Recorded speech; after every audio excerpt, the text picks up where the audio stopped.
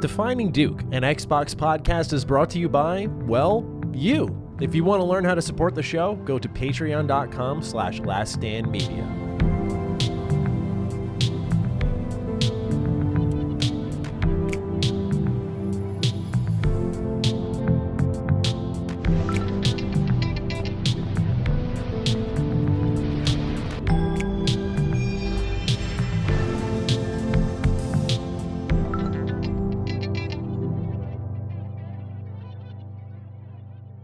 Salutations, everybody. It is Matty here today, and welcome to episode 10 of Defining Duke and Xbox podcast. And it's me, Karak, with ACG. All right. I mean, this is our biggest episode yet. I'd, I'd have to say. I mean, It's we got. biggest and most difficult to put together. I'm still I trying know, to right? figure out my mic. I apologize.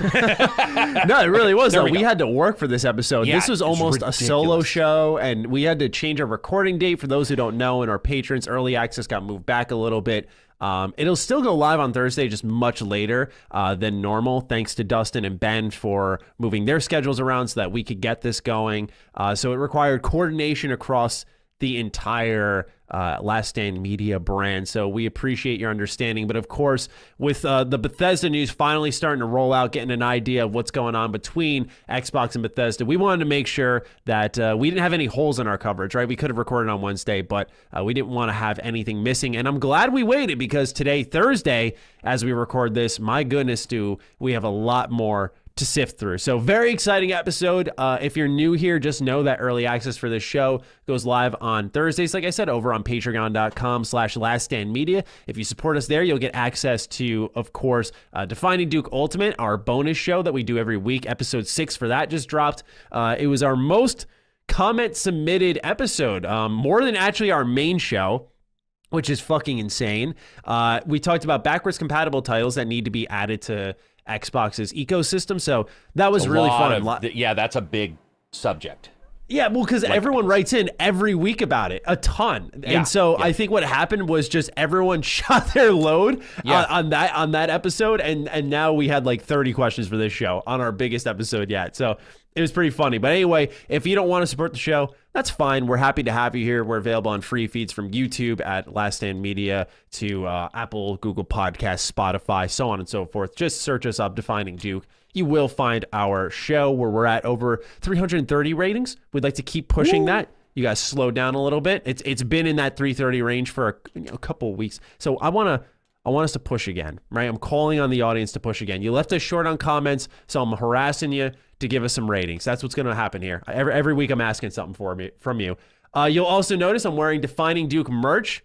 The uh, Last Stand Media merch shop is a go. So if you want to go ahead and support our show or support Sacred Symbols or Knockback, uh, there's shirts, hoodies, all that good stuff. The material, I'm not even saying this because I know some people are going to be like, well, you work for Colin, of course, but the material on this shirt is actually fucking legit. Where's it's it from? actually, uh, oh man, Dustin tweeted Is it it out. Uh, Streamlabs or Stream? Or no, no, no. It's not from. Teespring? It's like their own Oh. American print thing that uh, Dustin tweeted out who did it, but it is actually a legitimately good make. It does not feel Very cool. crappy. Like this isn't ironed on. This design, like it is a legitimate good shirt, high quality stuff. So highly recommend you get yourself one if you have the expendable income or disposable income to do so. Uh, with that though, enough pimping. What's going on with Last Stand? What's going on with Karak? Uh, d- trying to figure out if we could do the podcast. That was like the big Yeah, thing, right. That was really our week. It's really tough for me to switch days lately, just because of life and puppies and like it's me Puppies here with tough. all these dogs and even when I'll be here with Matty, I'll be like, "Hey, Matty, I got to go let the dog out during a podcast," and I'll leave, and there'll be two piles of crap, three piss, you know, stains on rugs, and I got to wrap it all up and shit yeah, while we're in the middle of a podcast. Yeah, it's ridiculous how much work they are, and uh, so that's honestly all I've been doing. And then, um, dude, no, that is seriously trying to figure out like to even get on this because I haven't even done a video. I did a animation video as a joke for my channel. I did a That dog was video. awesome. The That animation, awesome. yeah, I'll continue to do those. Those are fun to do. Um, lost a shit ton of subscribers, by the way, because you know Really? how. Oh, dude, subscribers will give you one chance. That's it. One chance. That's it, man. It's- I had a guy who place. he saw the and he was like, "You're fucking. This is the groupthink comedy cartoon shit," and just left. And I'm like, "Wow." wow, you can't like I can't even have fun. But I decided to double down, and the next day did the dog one. That's pretty much it, man. Just jokey stuff, trying to prepare. There's a couple games coming up, nothing big. Mm-hmm. Outriders, I guess, would be the big one, and um, that's about it. So just Outriders sort of launching at the right time. I, dude, it may be like it. Yeah, it may be. We'll have to see how it how it pans out. But I think you're right. I think this might be a good time for this one to come out. Yeah, it's definitely a good time for you to get a puppy, right? No games are coming out, so you got time. Yeah. I, I got mine smack dab in the middle of like traveling to three events, so I was just I was And puppies can't be trained haphazardly. You know. No, So yeah. So like you, it would have been hard because it's like you sort of have to be with them and then catch them when they pee or whatever. You know, you can't like Yeah.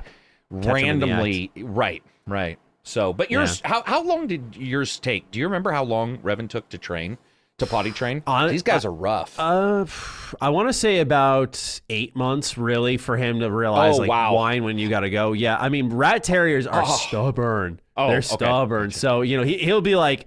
I I know I'm not supposed to piss here. I am going to though because Right. you're not going to tell me what to do. It's like you Right. little shit, go outside. You know that type of thing. So he's getting better now. It took him two Okay. years. We we trained him consistently. Um, you know, making sure we we we were you know because rat terriers respond better to to positive reinforcement. You can't just really most dogs do, but especially rat terriers are like right. instead of telling him no, this is what you did wrong, you remind him of what he did good when he behaves properly and give him a treat. And so uh, that took I I was able to figure Even that out more because of time though. Yeah. I assume, right? yeah, yeah, because you know you got to wait for him to do the right thing, and sometimes he doesn't get that.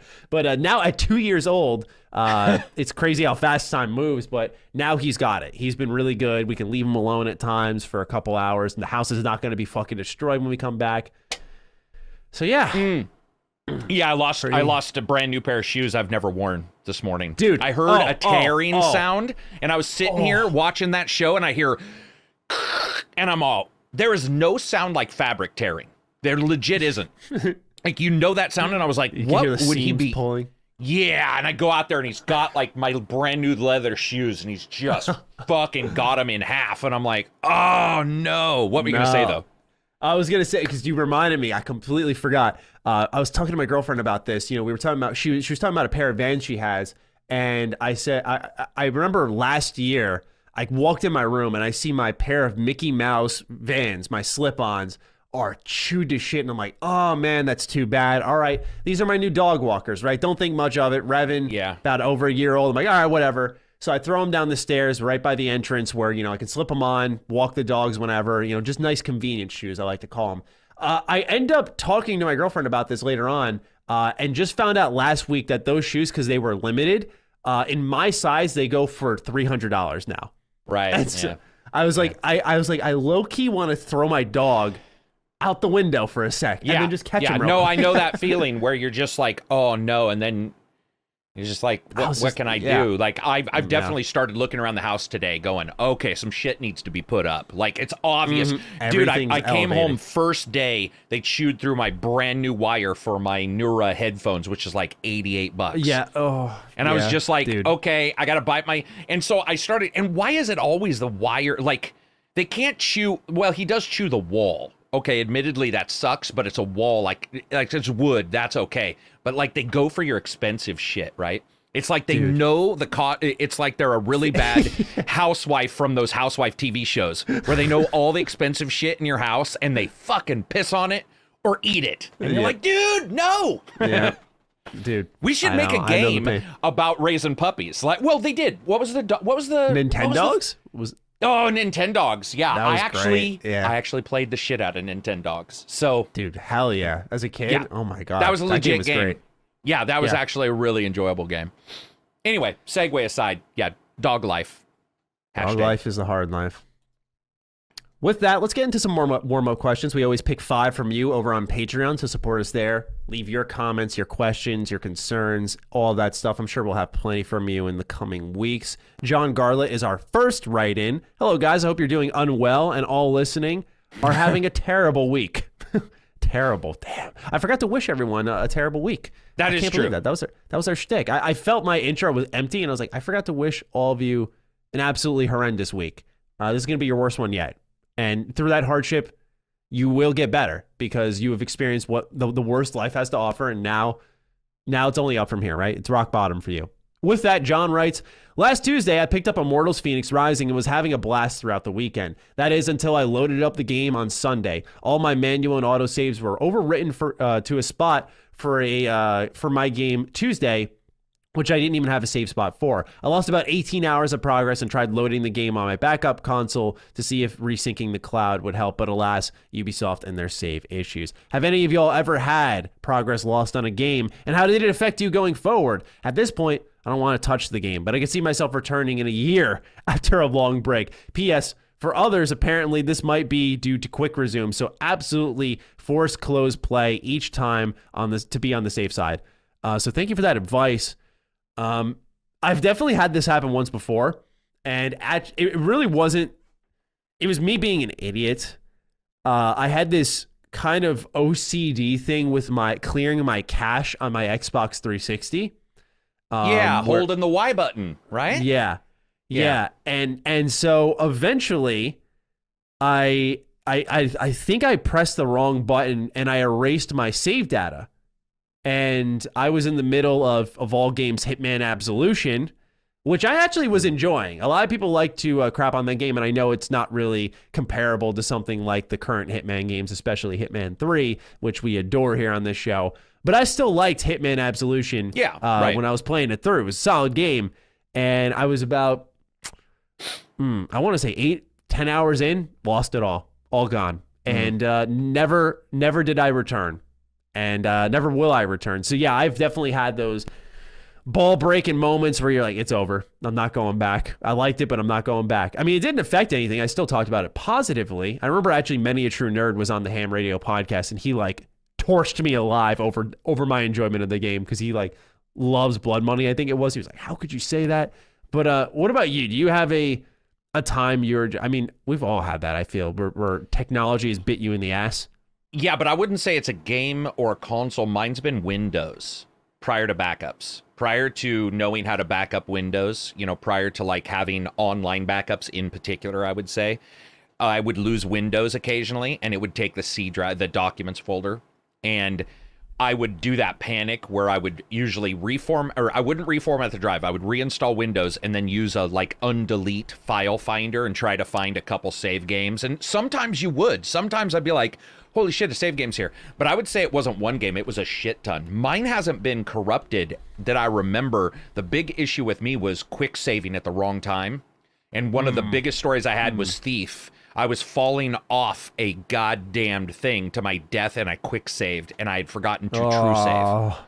And I loaded it and my friend looked over and this happened with Unreal, the not Unreal tournament, but the original single player Unreal game. The same exact thing happened.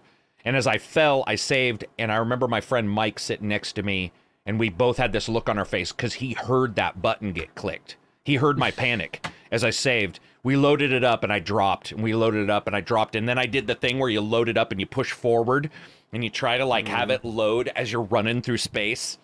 And then we just laughed. We just ended up cackling like we were like, "What do you do?" Like you can get mad, but then it was more of a fun thing. Right. It was more like, right. but I did not return to that for a year. I would say. Yeah, you gotta have that refresher, so we understand. SFish616 is our next write in. Hey guys, do you think, or what do you think, sorry, the re- release order for the announced Xbox Game Studios games will be? Avowed, Fable, etc. So we have a, a, set of games that we know are announced from Perfect Dark to Avowed, Fable. Uh, we imagine a new Forza game is coming. Potentially Starfield's now in that mix. I would imagine it's it's safe to assume Starfield's in that exclusive mix. Uh, so we have a lot of games coming, but none of them have a date where would you think each of these would be placed? We had the Outer Worlds in, in 2019, right? So that's Obsidian's game could fall. Do you think uh, 2023 would be a, a safe spot for them? Yeah, I mean, maybe even sooner. I don't know. I don't even think Fable. I like. It always feels like it's a ways off for Avowed and Fable, but that I, I it's just because I don't know their normal. It's the way they talk about it, right? I feel. I feel yeah, like I don't know their normal this, release schedules. In a perfect world, and I guess this is a too far fetched, but I really do think what would be amazing if they did. I mean, you'd have a back to back to back RPG thing going on here. If you had Starfield this year, I, I think Fable next year makes sense, and then Avowed the year after that. and then who knows about? I think it would be too soon for Elders. Yeah, it'd be way too soon for Elder Scrolls Six. But you know, I, I really do think that three uh, year continuance of of exclusives uh, would be awesome. I think Forza falls sometime in the fall. Like I, I think that's Yeah. pretty pretty plausible. I don't know how they don't do that yet. I think also, unless there's a reason, I could see them doing two in one year because remember they did Bi- uh, BioWare, Bungie, and Bizarre. They did the three Bs for the Xbox 360, and it was three months. It was just month after month after month. There was a huge game. It was ridiculous. If you were a 360 owner, it was it was one of the best times to be a gamer um, because it was different, huge companies in different facets of gaming releasing big games. So it could happen. It could happen. I, I would say I don't know about 2000. I, I think 2022 we might start seeing a couple of those big games. But I mean, they're not the only ones. You also have like, what is? uh I mean, what's Obsidian doing? What's their timeline for game? I, yeah, I don't even know what their timeline yeah, for they're games is. they're not. I don't know In them like the Exile might creature of have something on the side. Oh yeah, in exiled. Yeah, Yeah, inXile with the side project makes a lot of sense. I feel Yeah. like. I feel like them doing something with Fallout as a spin-off makes because here's the thing. I think if you do another 3D open kind of Fallout game, um, I feel that takes away from 76 and hurts it while it's growing now. Where if you do something Mm-hmm. isometric, I feel like that doesn't leech from that player base. It's it's adding to people who would want something different from that. You know what I mean? Like if you have the alternative rather than another option. Uh, I don't know how else to word it other than it, it feels like anything in a first slash third person open world space would hurt 76, which some people will sit here and go, who cares? But I'll tell you what, Bethesda cares. you know, the game's doing well for them. So uh, they want to keep making that 76 Then you know what I would assume if it is if it is doing well for them, my assumption is someone in Microsoft as well as Bethesda because they did state they've been talking for years. They're they've been in bed for years. There might be the idea of an expansion to 76. I could definitely see them doing that versus a fo- like what if they just hmm. say, okay, we are going to make sure it works because remember Microsoft backed Sea of Thieves when Sea of Thieves launched with nothing. I mean, Sea of Thieves and Fallout 76, dude, Fallout 76 had its issues and it was buggy, but Sea of Thieves had nothing really. I mean, I guess Fallout Yeah. 76 had nothing. You get my drift. They've Yeah, both been you mean, supported, is what I mean. And I Yeah. could definitely see Microsoft saying, "Hey, look at Sea of Thieves is doing well. Let's let's continue with Fallout 76 and not worry about." I I want them to make another Fallout though. That's just me Yeah, selfishly I saying. agree. I I want my SP Fallout. But Yeah, everyone does. And that's the thing is I don't know if going back to the classic formula would work for a lot of people, but I think it would introduce folks to a new style of Fallout that uh, that is underappreciated. Um, and having it kind of modernized with with current day development would be great because you look at the older Fallout games and they don't play well. They have great writing and storytelling, but uh, and the universe has this loaded up dark humor, but getting inXile's take on a Fallout game would be so so exciting. My prediction is honestly that they're going to do some type of expansion for 76 that makes sense, right? In in, Yeah. in the West, um, you know, because they're all East Coast. There are so many hints in the in the computer terminals in that game and the notes uh, talking about California and whatnot. Uh, we haven't been to California in Fallout since since really you know West Coast in general since New Vegas. Uh, so if they did some type of nostalgia dip, uh, that would oh my gosh! I mean that's what ESO did to really crawl itself back into relevancy. They they did Skyrim, then they did Morrowind, and then they went into Oblivion this coming summer, and it's worked. It's kept it afloat because people like that stuff. Um, so I, I personally feel like uh, we're gonna see something like that with 76. I do not be surprised if they do some type of major expansion, but I want to I want to say they'll do more on top of that. I don't think you get those three teams that have all worked on Fallout in some way underneath the same roof and say, ah, we're not we're not doing anything with this. Like that's just I I almost would argue that's wasted talent. But just my two What uh what Fallout did any Fallout do West like what's West Coast Fallout? one and two are West Coast. Um, What where are they based in? Arizona? No, that's not even West Coast. are they based in uh, uh, California? uh, I know based in I know Fallout two has uh, San Francisco. Oh, Uh, okay. Fallout oh, okay. one, I'm struggling to remember where exactly. Obviously, New Vegas is like the Mojave. Um, so yeah, there's they're they're all West Coast Yeah, Fallout true. games. Of course, true. Yeah. I guess I'm thinking the coast coast if you get my drift. Yeah, When you yeah. say Cali, I'm thinking right up on the beach, like Oh, no. surfboard. Imagine I don't know what's gone on with the West Coast after in Fallout. Is the ocean still in Fallout? Is the ocean still like it hasn't Yeah, receded in the 200 years? Nothing weird's happened, right? So can you imagine a. Fallout that had like a surf aesthetic to it and shit like that, like the Like Fallout- 1950s a, uh, surfboards, you know, and that music and There's, stuff? there's a cool mod called Fallout Miami, and it's it's very like colorful, and it's on the beaches Oh, of yeah. Miami, and, and That'd be cool. yeah, it, it looks great. It looks great. So that's definitely what you're talking about, and I think a lot of people would dig that because people are excited for that mod. All right, thank you for writing in, S Fish. Our third write-in is from David. Hi guys, what are your memories of the Xbox One launch? Were any of the controversial features that were removed appealing to you? I, for one, like the idea of being able to share digital games, and that was dropped. And I'm surprised developers didn't embrace or defend the original plan to have discs not be shareable, since they complain about lost revenue with shared games, i.e., 100,000 people may play your game off of 500 or 50,000 purchases. Do you have any fond memories of the launch lineup or early Kinect usage? I still really, uh, still really miss saying Xbox on and Xbox record that. Mm, yeah, I Hmm. used the Xbox record that. As did I. Hmm.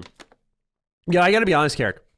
I think the best thing about Kinect was I don't know if you've ever right? sat on an Xbox party chat and and you like I we play Killer Instinct at launch, right? And I'd just be smoking my friends with I think her name was Syndra. And you know, just after you beat their ass, just doing the ego move of Xbox Oh. record that, and they're like, Yeah, "All yeah. right, dude, cut it out." You know, so- that was Some my games favorite would part. record when you won too. They they'd like take Mm-hmm. a picture of your face when you won, which those are actually that's a sweet idea. I will say one thing I do remember is knowing somebody at a major company laughing at Microsoft because all the developers okayed Microsoft's idea for software and anti-piracy. And they let Microsoft burn.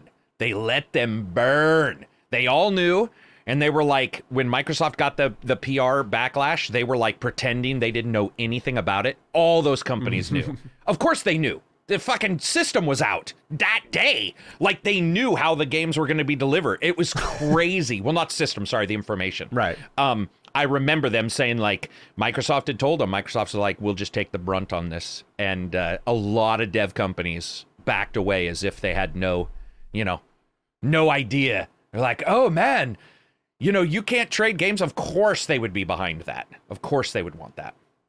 Yeah.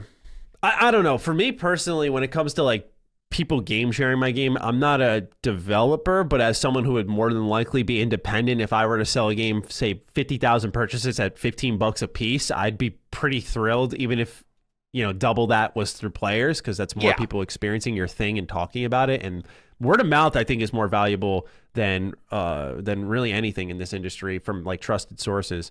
Uh, Yeah. So, I don't know. I don't know. I don't know many people who have complained about that. I've I've personally never seen that. I think more creative individuals are thrilled that people are experiencing their thing. As long as it's not like I, I think what was it, Tiny Build or whatever. Uh, there was like keys stolen and there was yeah, like a there was major issue all with that. weird stuff about the Yeah. keys. Moving on along, Ian Spencer is our next write-in. Karak, I had some answers written down because I didn't know if you would be here for this show, but I'm curious to see your answer for this because it mentions a game that you adore and you talked about for probably two fucking years ad nauseum. Ian writes, "Hey guys, just looking for some game recommendations for my girlfriend here. Yep, she enjoys bite-sized games that can be devoured in three to six hours, such as Oxenfree, which is one of her favorite games. She just finished Little Nightmares one and two and is moving on to Inside next. She's an owner of Game Pass as well. I hope your week is a four out of ten slash wait for a deep, deep sale." So I have a bunch of games written down, but before I get into those, I want to I want to know what you would suggest as a Oxenfree lover. Uh, Someone who- Life who is Strange. Oxenfree. Those are. Uh, I would say. Uh, I we just talked about it in the Discord. Thimbleweed Park is a point and click. I don't remember how long it is. Somebody said it was a little long. I think it's like seven hours. Um, and that's where you play like a fake agent Mulder and Scully from FBI. It's like a fake version or a weird sideways version of of the X Files. Very fun game. Uh, also with a incredibly angry cussing clown. That game is awesome. Um, Night in the Woods. I am I have not played Night in the Woods. However, I was just in a conversation where everybody compared it to those. So I'll say safely, most likely I would have liked those. Um, yeah. So Night in the Woods would be another one. These are shorter games. Uh, Dreamfall. We just talked about this. Longest Journey. That's an older game. That might be X backwards compat. I'll have to check.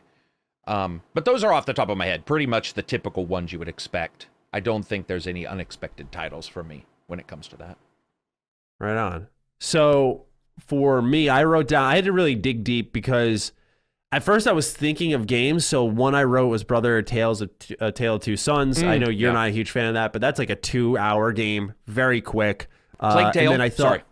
yeah, Play, Plague Tale's great. I didn't even think of that. Yeah, Plague Tale is really good. A little bit past your three to six hour range. Yeah. But Oh, yeah. I think based off her taste, she'll be pretty captivated by this game. So tell her definitely give that a try. That's on Game Pass. Uh, the following games, also go, Gone Home was one that I really liked. That's about two, three hours. Uh, really, really great story there. Uh, just kind of a walk around the house, pick up clues, learn this mystery. Um, there's plenty of those out there. But the following games are on Game Pass. Uh, Streets of Rage 4, about three hours long. You want a, a good little beat 'em up. Uh, go ahead, pick that up. There's also River City Girls, also a beat 'em up on Game Pass. Fusion Frenzy, uh, just tons of mini games. Uh, a lot of people are big Mario Party fans. I love Fusion Frenzy. This is the one I grew up on where I'd get friends around the TV. We'd play this. Um, so, not story based or anything like that, but still bite sized. You can pick it up, play it in chunks whenever you feel like it. That's on Game Pass. Uh, Spiritfarer, definitely. Uh, this seems way up her alley. Uh, this is not a super long game, you know, eight, ten hours. Uh, it is it is really wholesome. It's got a good message to it. Uh, it's got some building mechanics. Uh, and and I, I think that is probably out of all of our suggestions one of the the ones that she should go for most. Uh, if she's looking for something old school and a little more challenging that's not long, the Messenger is pretty good. Messenger is one of my favorite 2D side scrollers. It's got 8 bit, 16 bit art. It does a lot of time traveling stuff. It is difficult though. Um, not that she can't handle that, but just keep that in mind. Uh, Ori, not long. Ori Oh, and the Blind yeah, Forest, yeah. Ori in the Will of the Wisps. Those as are long both as on she's also okay with being hard, right, Matty? Yeah, Wouldn't you those consider Ori be. being? The first ones, I thought the first one was pretty hard. Second one wasn't that hard. First one though, Yeah, oh I would agree God. with that. For second one, you have weapons, so it changes the way the game plays. I think. Right, right. And I think that's because it's better design. Like they give you the bow and arrow where you can like bounce off of people or, or something Yeah. like that. They give you some type of bounce ability. It's a lot more precise and well controlled. So it's a lot less difficult. Uh, Slay the Spire, she wants a roguelike, wants something replayable. Uh, it's card based, uh, deck building kind of game where you just go up the spire. Uh, you pick one of four classes. Each of them have their own builds, and, and you pick a new card to add to your deck. And, and as you diverge on paths, um, it changes the outcome of the spire itself. Uh, and then these last two fall in line with Oxenfree. Uh, they're both on Game Pass, Sea of Solitude and Call of the Sea. So Oh, I've Call heard- of the I've- Sea is good. I've heard Sorry. really good things about Call of the Sea. No, I've heard Yeah. great things about Call of the Yeah. Sea. So I thought to myself, hey, this might be a um, this might be really good for her. So give all of those a, a look. I think you'll be uh, very pleased with uh, with at least one of these. I think I think there's a, a good selection here, and a lot of these I have played and can vouch for, but some of them I have not. Uh, Call of the Sea is one I do want to give a shot. I've heard a lot of good things about that. There's another one. I'm going to ask Takedown as we talk here. There's another one that was a first person game that had a Bioshock aesthetic to it that came out about a half a year ago that he streamed that he it was like World War II and Bioshock mixed together. And it's funny because you didn't mention it and I thought you would just because of Bioshock, you know?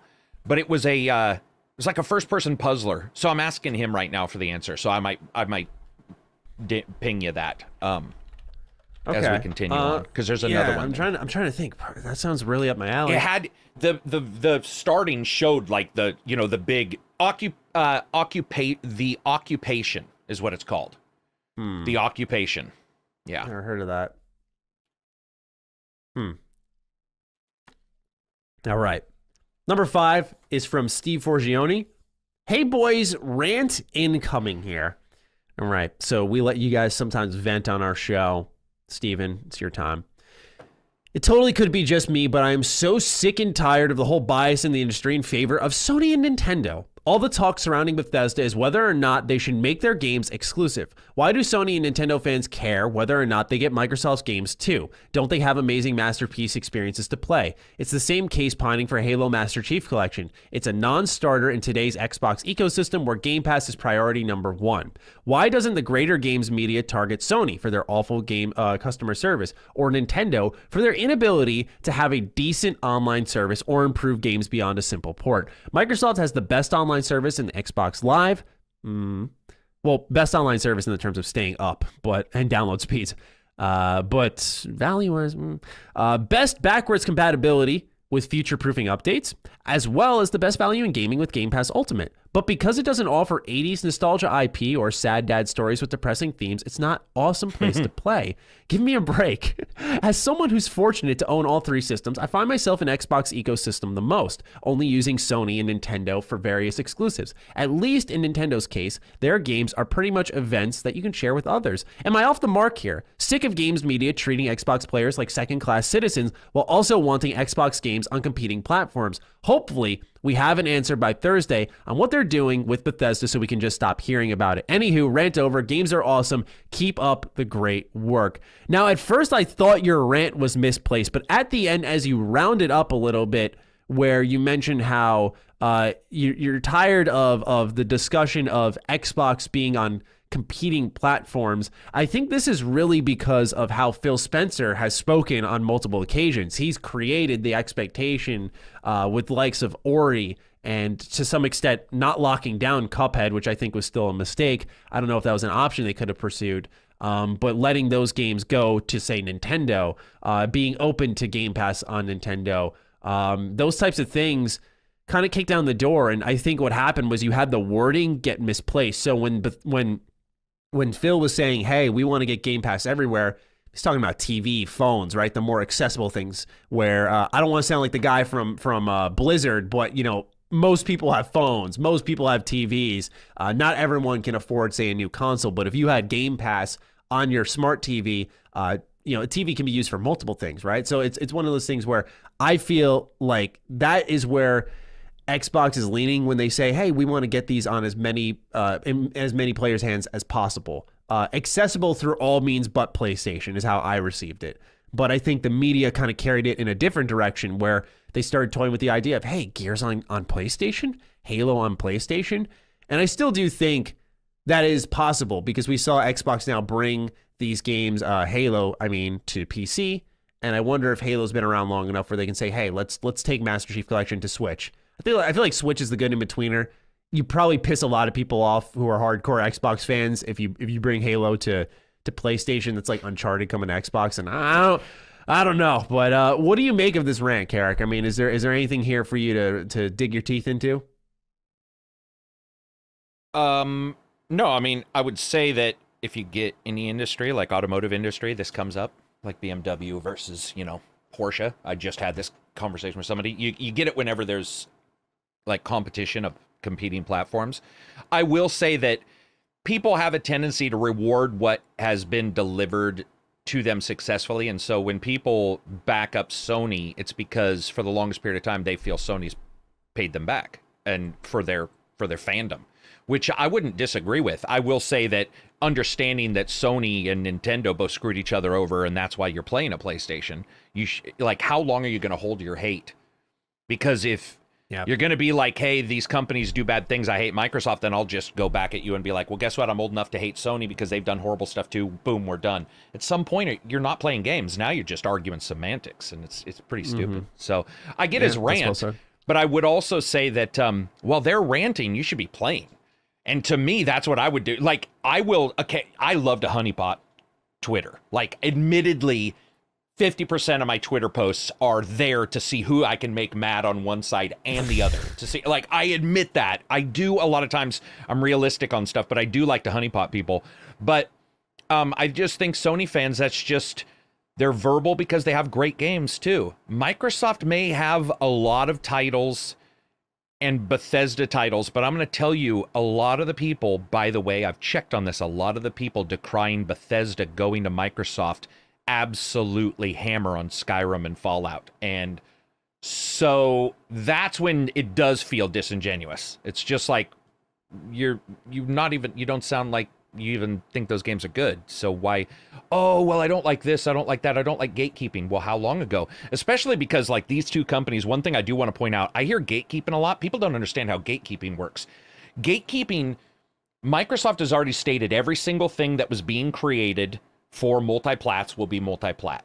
They made that clear today. They said, you know, those things we're working on.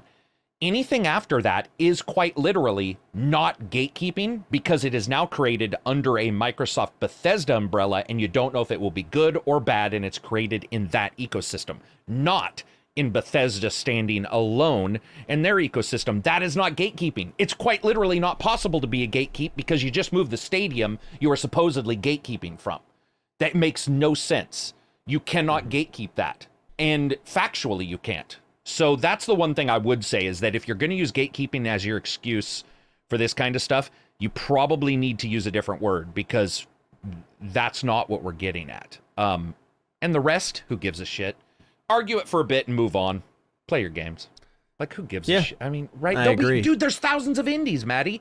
Ori, indie t- team. Cuphead, indie team. They could be the new, not Bethesda, but you get my drift. They could be one of the many companies working for Dude, look Bethesda making the new Sony Ninja can- Turtle game. All indie. That's one of the biggest IP. dude ins- insomniac does great stuff uh Guerrilla Games by the way great stuff and some of these companies weren't with sony and then sony got them nintendo does this less i don't know if you agree but i don't you don't hear about nintendo buying shit very Now often they bought Am they I- bought one company that they were like in partnership with for a while. And I'm talking like they did Super Mario Strikers together and Right. So I think his Luigi's rant is wrong so- in that in that part because I just don't hear even back in Sega Nintendo days, you really didn't hear that very much. You just heard that Nintendo was a bully with money, which they were. Yeah.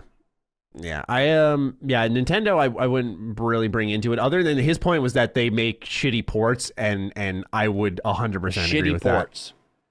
In what way? By shitty ports, I mean that low effort.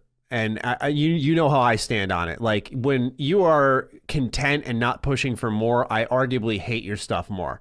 What so with something like Skyward Sword or uh, the the Mario 3D All Stars, where they don't do really much with them. I'm not talking go in and, oh, and dig through the game from and game from their own system to their own Yeah. system. Yeah. I see what you're saying. Yeah, very absolutely. low Yeah. effort and Right, it's really it's gonna sound like someone's gonna say oh you're you're just an xbox fanboy fuck off uh, it's really that xbox's backwards compatible program shines a spotlight on how horrendous nintendo is behaving with their ports where we just learned today that they're gonna give morrowind oblivion 60 fps or the fps boost on xbox and you know, I got to say, when you look at that with it running at 4K, like something like Oblivion running at 4K, 60 FPS, I mean, that is that's awesome, and you don't have to pay a dime for that. You have to just have the game, the old game that you bought. And I think when Nintendo's kind of upscaling the game and selling it for 60 bucks, that's a joke. And and I do think more people I need to hold them you're saying. accountable. I see what you're saying. Yeah. Yeah, So- it would be the same way if Master Chief had come out and wasn't graphically improved, Master Chief Collection. Mhm. Then I mean, I think even more people remember when Master what was the one that came out? The Xbox Halo 1, uh, it was the redo. What was that thing called? Where Oh, graphics Combat the button? Evolved Anniversary, I think. Anniver- dude that's awesome. right there is a port like that's when Yeah, you're that like, awesome. like that's when you're all holy shit that's amazing so yeah, Yeah. i get it i get that complaint With that, though, that transitions perfectly into uh, number one for our news. It's official. After months of waiting, Xbox is now in ownership of Bethesda and their portfolio of studios. The acquisition adds eight teams Arcane, Tango Gameworks, Bethesda Game Studios, id Software, Machine Games, ZeniMax Online Studios, Alpha Dog, and Roundhouse Studio, bringing Keep the going. total I'm of first party studios. in. Gotcha. Under Xbox to a staggering 23. In a write-up on Xbox Wire, Phil Spencer delicately threaded the needle, saying, quote, This is the next step in building an industry-leading first-party studios team, a commitment we have to our Xbox community. With the addition of the Bethesda creative teams, gamers should know that Xbox consoles, PC, and Game Pass. Note in this write up here, and we'll talk about what Phil said afterwards, that he labeled Game Pass as a platform. So just keep that in mind. Anyway, and Game Pass will be the best place to experience the new Bethesda games, including some new titles in the future that will be exclusive to Xbox and PC players, end quote. So, right there, we're not stopping. We still got a little bit more to read through, but just note that he's talking that there will be exclusives in the future. We'll talk about what exactly that means. His post continues, quote, As we shared previously, it's vitally important that Bethesda continues to make games the way it always has. We look forward to empowering Bethesda's creative teams to reach even more players around the globe helping make future Xbox, I'm sorry, future Bethesda titles the biggest and most popular games in their history. Xbox and Bethesda have shared a common vision for the future of gaming, both as fans and as creators. Bethesda understands the potential of Xbox Game Pass. Now, I made a video about this this part right here really important to emphasize once again as we read along here because when people were reading this at first they were saying you know we want to have bethesda continue to make the games the way they do and people were saying oh they're going to do playstation more that makes sense um, there's not going to be interference on their playstation stuff which i think for the most part there won't be uh, but with that said Bethesda understanding the potential of Game Pass after all that is said, I think Phil was getting a little tongue in cheek there and, and trying to indicate what he was really hinting at in the terms of making sure uh, Bethesda games remained as accessible as possible. Uh, lastly, he commemorates uh, Robert Altman, the founder of ZeniMax, whom he worked directly with for multiple years, saying, quote, I will miss the opportunity to work with him on the future uh, of our combined teams, but I know that his spirit will live on in the shared work we do and motivate us to make this partnership all he envisioned, end quote. Phil ends this post by saying, quote, in the meantime, to properly celebrate this special moment, we are bringing additional Bethesda games to Xbox Game Pass later this week. Stay tuned for more details. So then, afterwards on Thursday, today, March 11th, as we record this podcast, Xbox and Bethesda joined together for a panel of sorts to discuss the meaning behind this partnership. Now, there were additional comments and exclusivity. They have confirmed that 20 Bethesda games are coming to Game Pass tomorrow, Friday, March 12th. So that adds an insane amount of value. We just talked, I think, was it last week or the week before? That they added all these sports games in the week before there was a ton more games added. We saw desperados 3 and we saw control get added.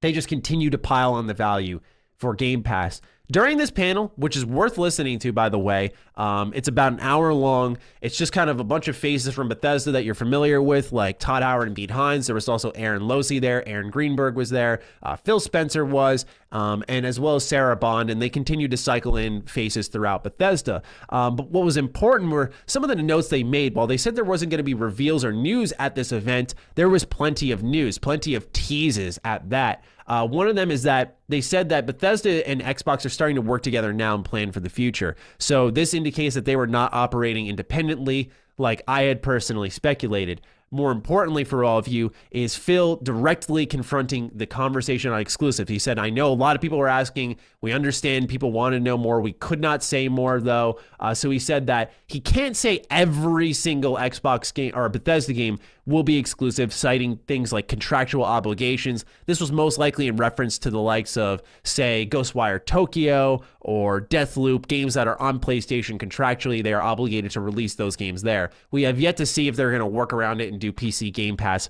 for those titles. I'm not sure if there's a loophole there. But he also mentioned things like legacy content uh, that they could put onto other systems. But his exact quote which I think was probably the most significant one of them all, was quote, if you're an Xbox customer, the thing I want you to know is this is about delivering great exclusive games for you that ship on platforms where Game Pass exists, and that's our goal, end quote.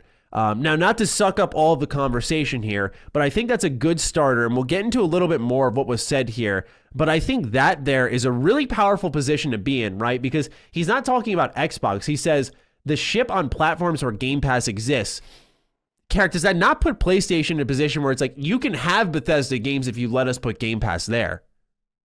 Well, yeah, it's just like they said we have no issues with crossplay. That was it. And everybody mm-hmm. was like, well, then it must be Sony who's had issues with crossplay. Like Microsoft has a tendency to drop the boat on that, where, like, in a conversation where somebody's like, well, not all of us in the room are dumb, but there's only you and one other person. And you're like, wait, that means I have to de facto be the one that's dumb. Microsoft does that. It's obviously what they meant, but I, I don't think people realize that the big thing. So there there's a reason why Microsoft announced the Samsung um, combination work as well as LG. Samsung in particular, where Game Pass possibly might be on a Samsung device, um, but they're already got tie in with HDR, auto HDR, and all kinds of settings. Game Pass is the thing, and so they'll just put it on everything, and then they'll just let Sony decide at some point. And I bet you somebody was like, "Oh, Microsoft wouldn't do that, dude." Of course they, they would. would. And the 100%. reason why is the streaming de facto is not as good as local hardware. We know that. We all know that there's little leg issues. That's not what Microsoft is pushing as their primary. So to put their secondary on a PlayStation system and say, eh, if you want to try them out on PlayStation, it's only positives for them. However, will it happen? No. Sony has Sony is so anti they're just so anti. It just won't happen. It, it would be. It will I take a blame long them, time. right? I don't blame I don't them, either. but- But... even since Nintendo's Hmm. days with the PlayStation and the Super SNES CD and how the PlayStation came to be, they. I don't know if any big company wants to get in bed with Sony. To be honest, because they're a little like Nvidia, where you always feel like something weird is going on on the back end. Hmm.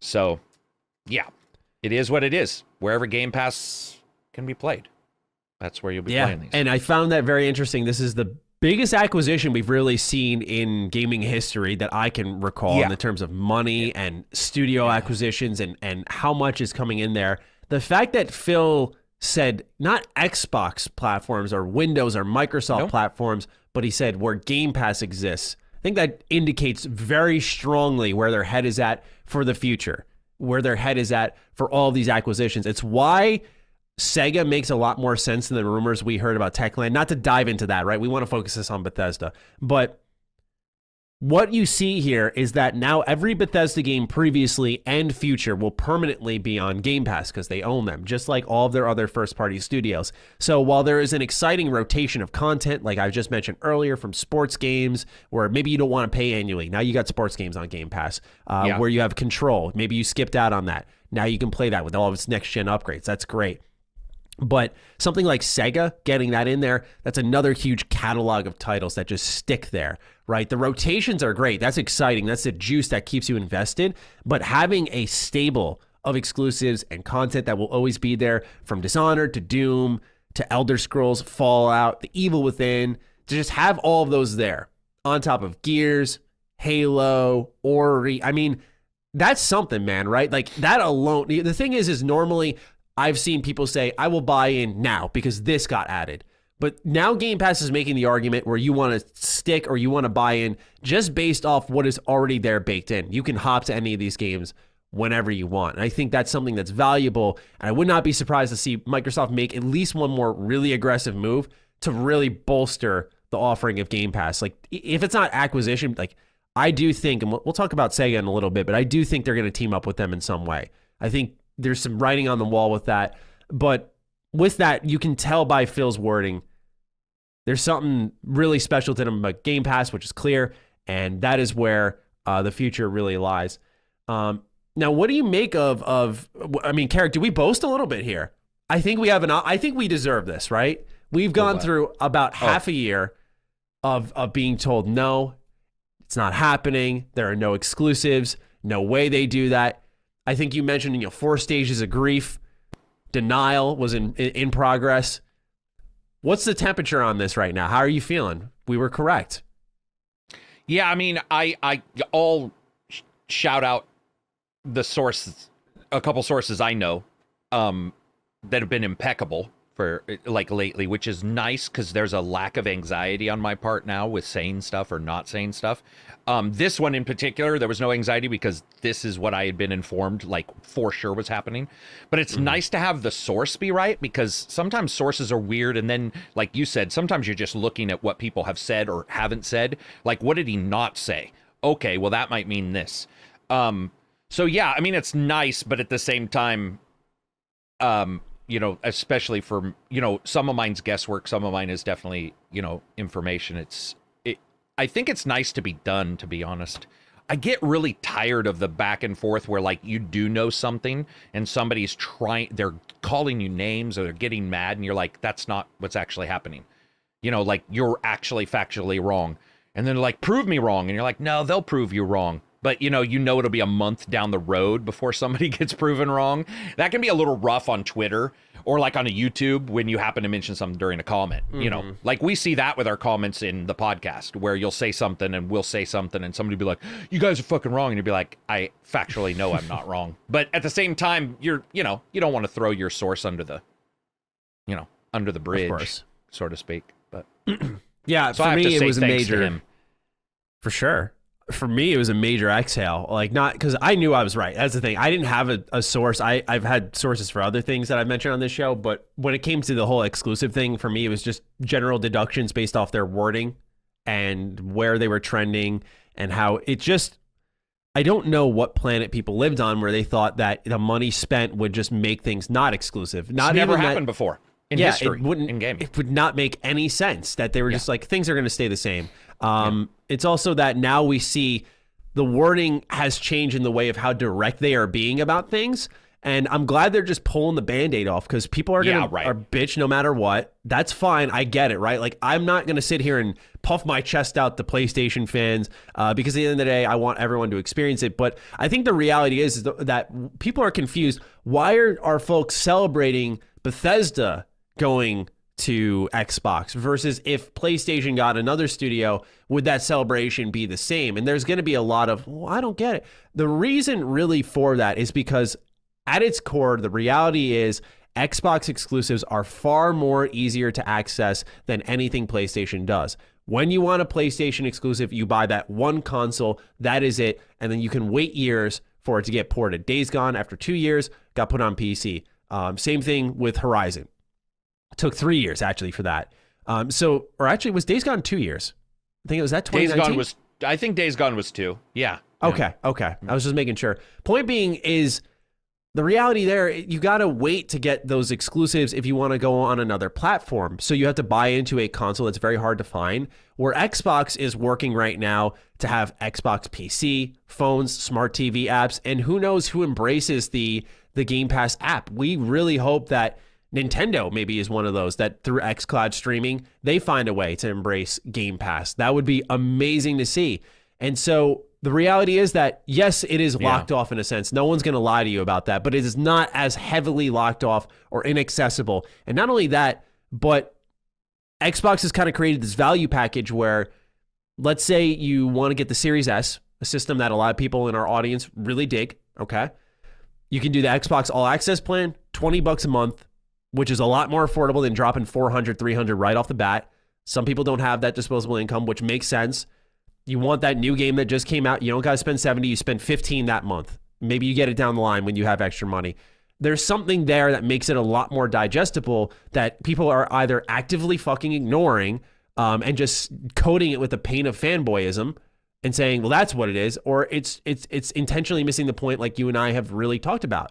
And so for me, I, I just find it perplexing when folks get really wrapped up in why are you happy about this? It's it's because historically Bethesda and Xbox have done their best content together. I think that's a fact. Like yeah. starting with Morrowind and looking at Oblivion for its time, good lord.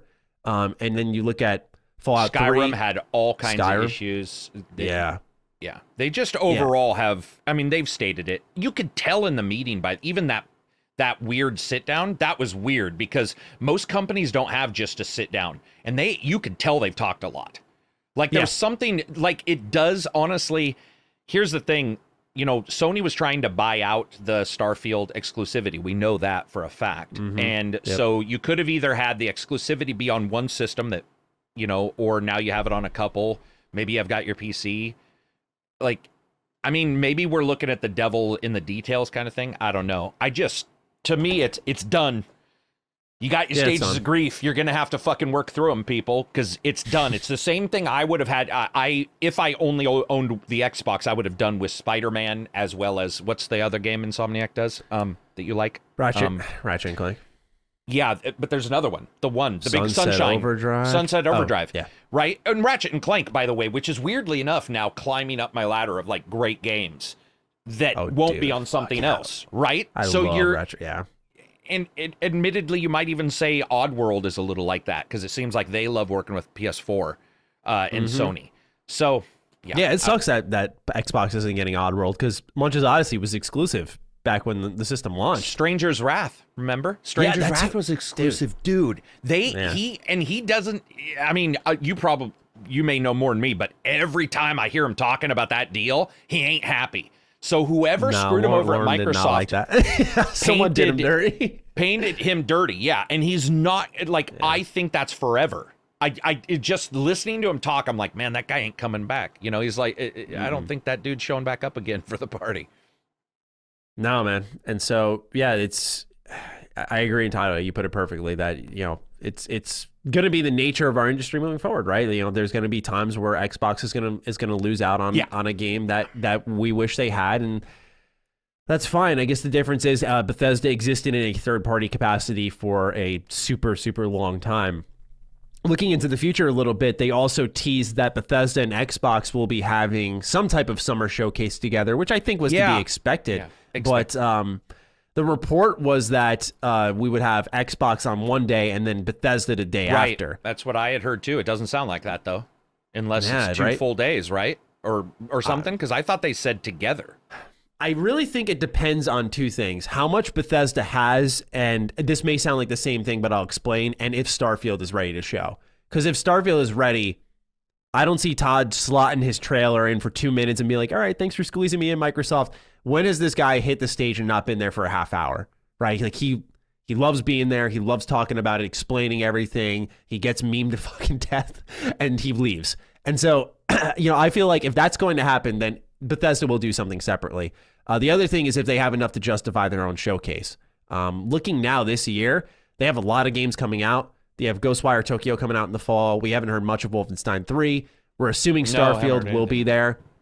You know, there are plenty of other games coming around. We don't know what Roundhouse Studios is working on. I think Alpha Dog, I want to say, is a mobile game studio. It is mobile. Um, yeah, so I, I assume that them and maybe Bethesda Game Studios Montreal are tinkering on something mobile for Starfield because it's a new universe. It would be really cool if they had a mobile companion app, sort of like Fallout, Shelter. uh, shelter. yeah, bring you into that a little bit. So I, I feel feel like yeah, right. I feel like they have Bethesda conferences work if they have enough, like any showcase. We've seen EA, Ubisoft, Bethesda all overextend themselves and try to make shows that don't need to exist and waste a lot of time and money uh, making it so.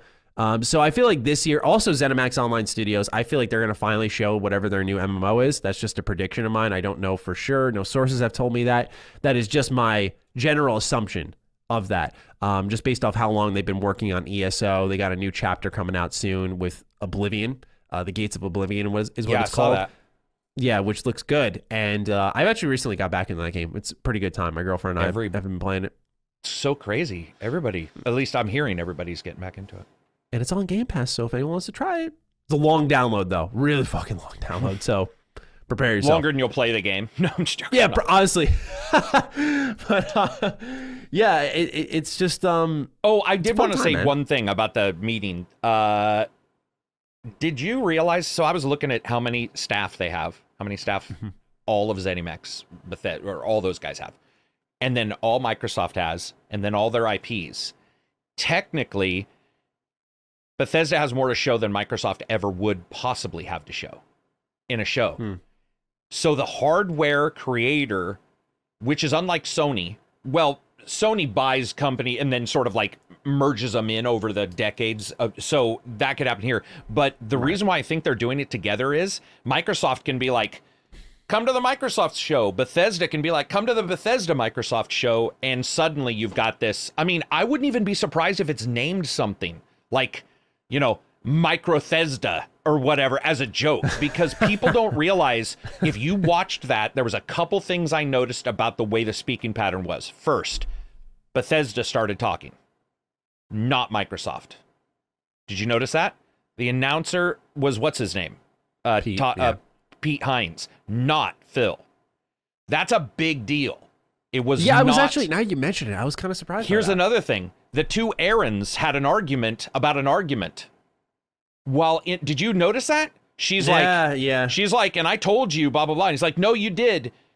My opinion is most likely Bethesda and Microsoft for a long time have been talking about this and also are very, very belligerent to one another that it stays.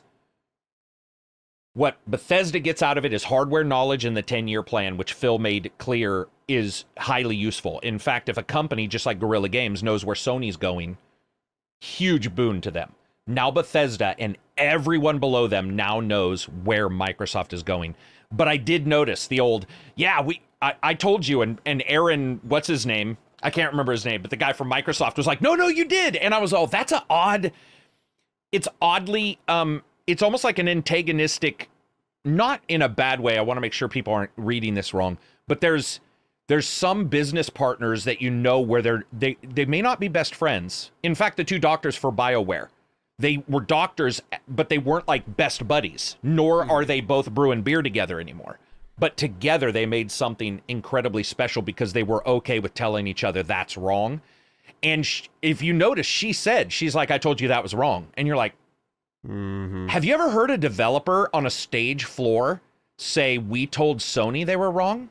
Or Nintendo, or even Microsoft in the past. I think No, I that's the noticed that, one big thing here.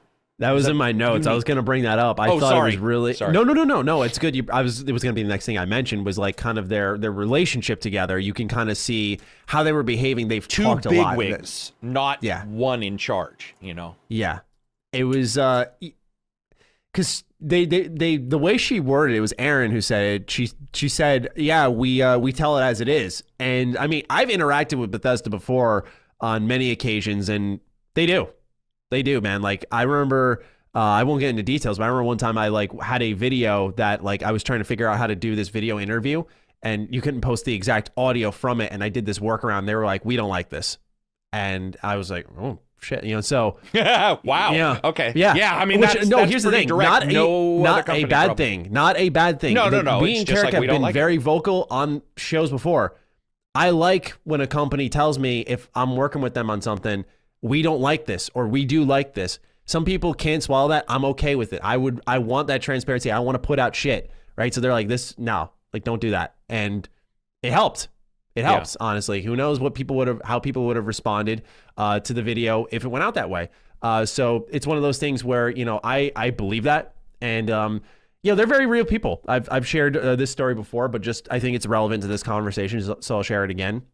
I remember at the Fallout 76 preview event, um, you know, we were there, there was like a whole dinner thing planned for once the demos were done, and uh, I recall Pete Hines, you know, he invited me to sit down at the table with him and a bunch of definitely higher ups at Bethesda to just talk, and um, there wasn't any business going on, but it was just like, dude, I'm I'm a YouTuber, so uh, they're very much human at Bethesda, which I've it's one thing I've always appreciated about them, and I feel like one thing that left me jaded with them was over the years, starting with uh, really like Fallout 76. I felt they stepped away from that a lot um, because they were constantly they looked like they were they were trying to cover their own tracks behind them, make sure they didn't fuck up, and in turn they were fucking up, kind of like we see a lot of companies do. CD Projekt Red being the most recent example. Uh, but yeah, I just there's something humanizing about saying like, uh, hey, why don't you come sit down with us and getting getting to know everybody there. Uh, that was really cool. So. Um, you know, that may sound like I have some bias towards them or whatever, and, and fine, make your own conclusions. But to me, it's more so that when she said on stage, we tell it as it is, and they had that moment on stage, and I've had my own personal experiences. Um, it does seem that would continue to be the case for them. And I haven't seen that with Bethesda, uh, but I assume it's true because I told you, like, I'm not, I was not a fan of, of Howard on Twitter at all. We, you know, remember when I first started on your podcast? I was, uh, or sorry, Pete Hines. Oh, oh, oh! I was like, Todd has? Remember? So I like, apologize. Remember when I started on your Yeah. podcast? I was like, nah, nah, nah. What. I think I was picking up on is if two people, if people are individuals, they're not always going to gel. It's not the PR. They're they're not trying to gel. And so some of the mm-hmm. stuff he was saying, I was like, dude, what the fuck? Eh, and and sure, some of it was PR, but some of it was probably just him coming through.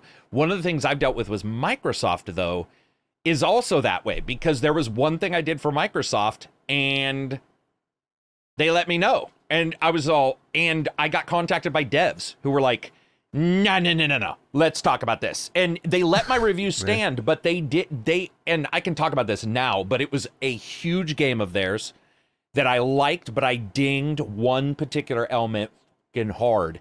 And my inbox, it was like it went live, and my inbox was like, but ding, you want to talk? And I was like, and I looked and I'm all, who the fuck is this? And I looked them up, and they're like, please don't tell anybody you know, like it'd be great if you didn't share this, but I want to explain to you why you saw the things you saw, just so you understand mm. if you mm. talk about it later. And I was, that was a, that was pretty, dude. Nobody does. I mean, I, it, Sony has done. Sony did that with the PS5 dramatically. They reached out to me. Of course, I'm a bigger YouTuber, but when I had PS5 issues, they didn't treat me with kid gloves. They actually wanted to figure out the issue, which was really cool.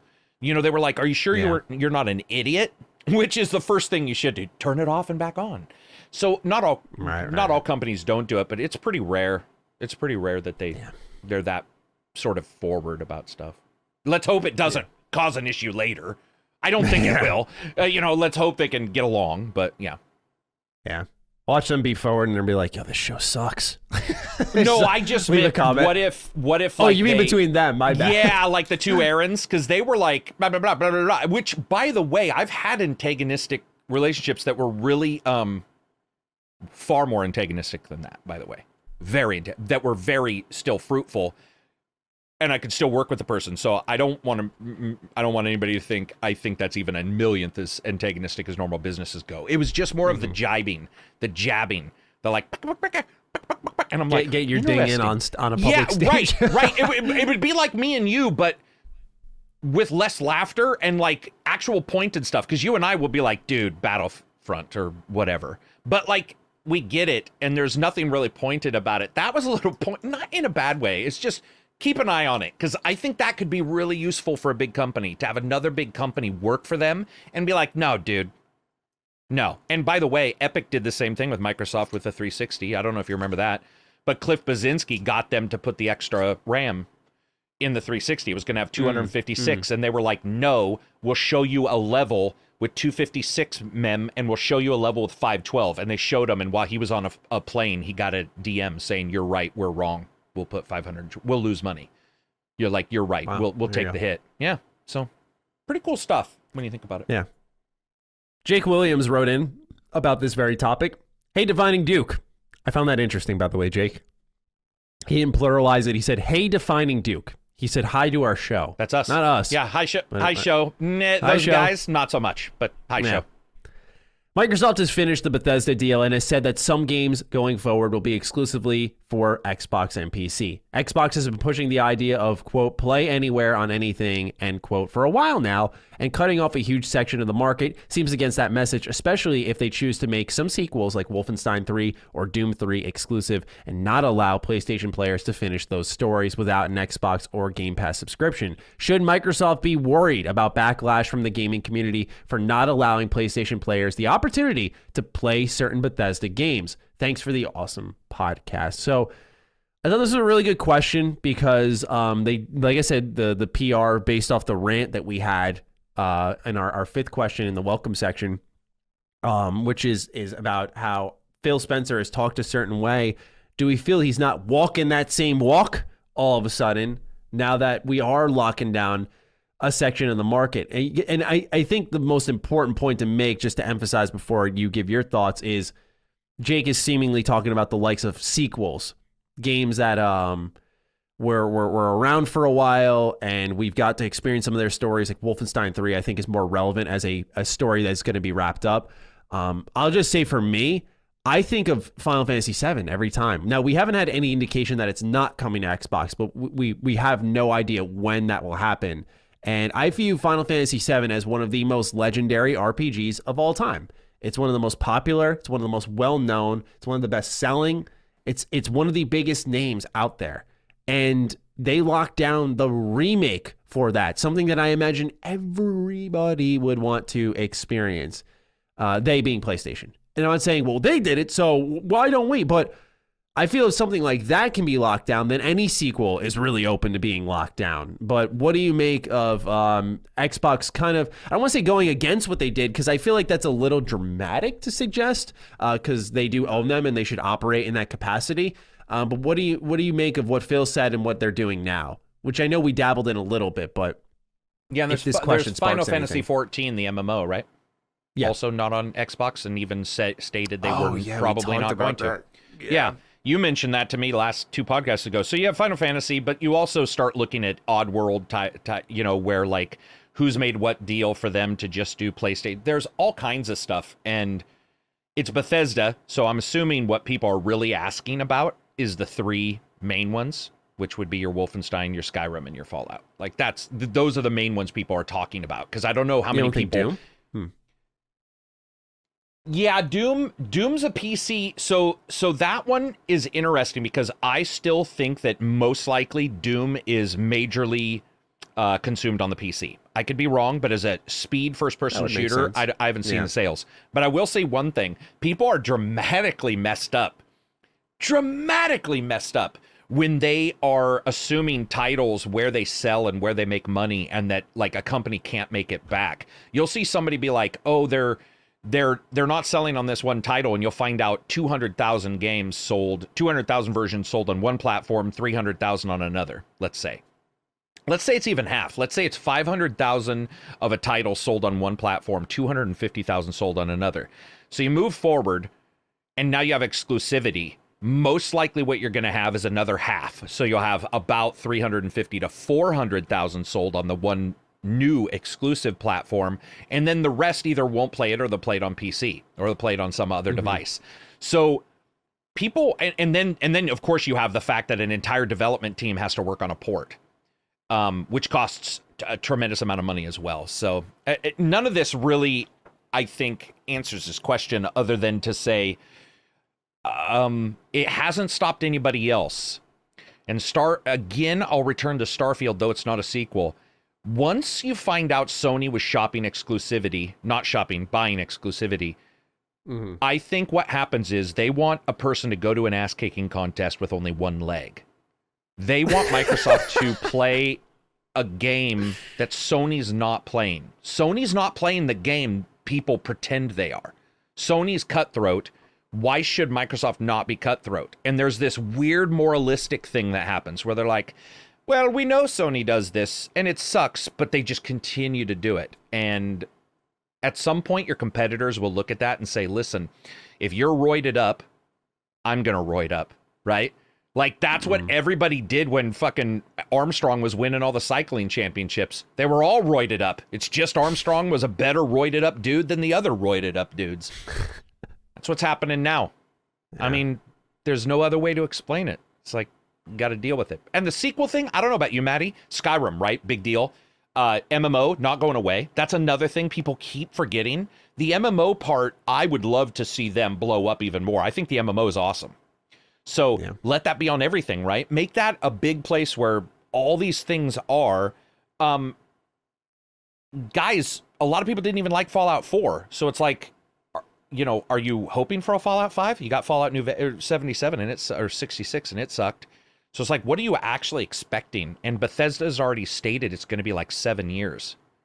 Like, who fucking knows what would happen in seven years, dude? We're all going to be streaming into our brains. Elon Musk will be talking to us through fucking scent machines and shit. A day trip will be to Japan, you know, that type of stuff. Oh, dude, no, you're, dude, you're the boring company. Like, you'll be able to be like, hey, Karak, let's do a podcast. You'll get in your fucking laser beam shit and you'll be here. Shoot myself to your house, yeah. right. And we'll just be like, so anyway, and, you know, the bar between us right now will be cut in half and it'll be just you and me sitting side by side. Like, yeah, shit's to hey, change. that would be so- amazing. I gotta be honest, right? If we could just get together like that for a show. Dude, it's gonna happen. And did you see? Oh, by the way, this is a side tangent, but it's about Microsoft. Did you see their Halo, the new VR stuff they showed last week? No, I didn't. Dude, it's called Mesh. And it's two people talking to each other, but they're not near each other. It was awesome. And th- this is like Microsoft's foray into VR again and stuff. And hmm. yeah, it's called Mesh. It was an hour long. And it was like showing people talking to each other. But the crazy shit was it was augmented reality as well. He goes outside and there's like Pokemon style creatures, obviously, not hmm. Pokemon.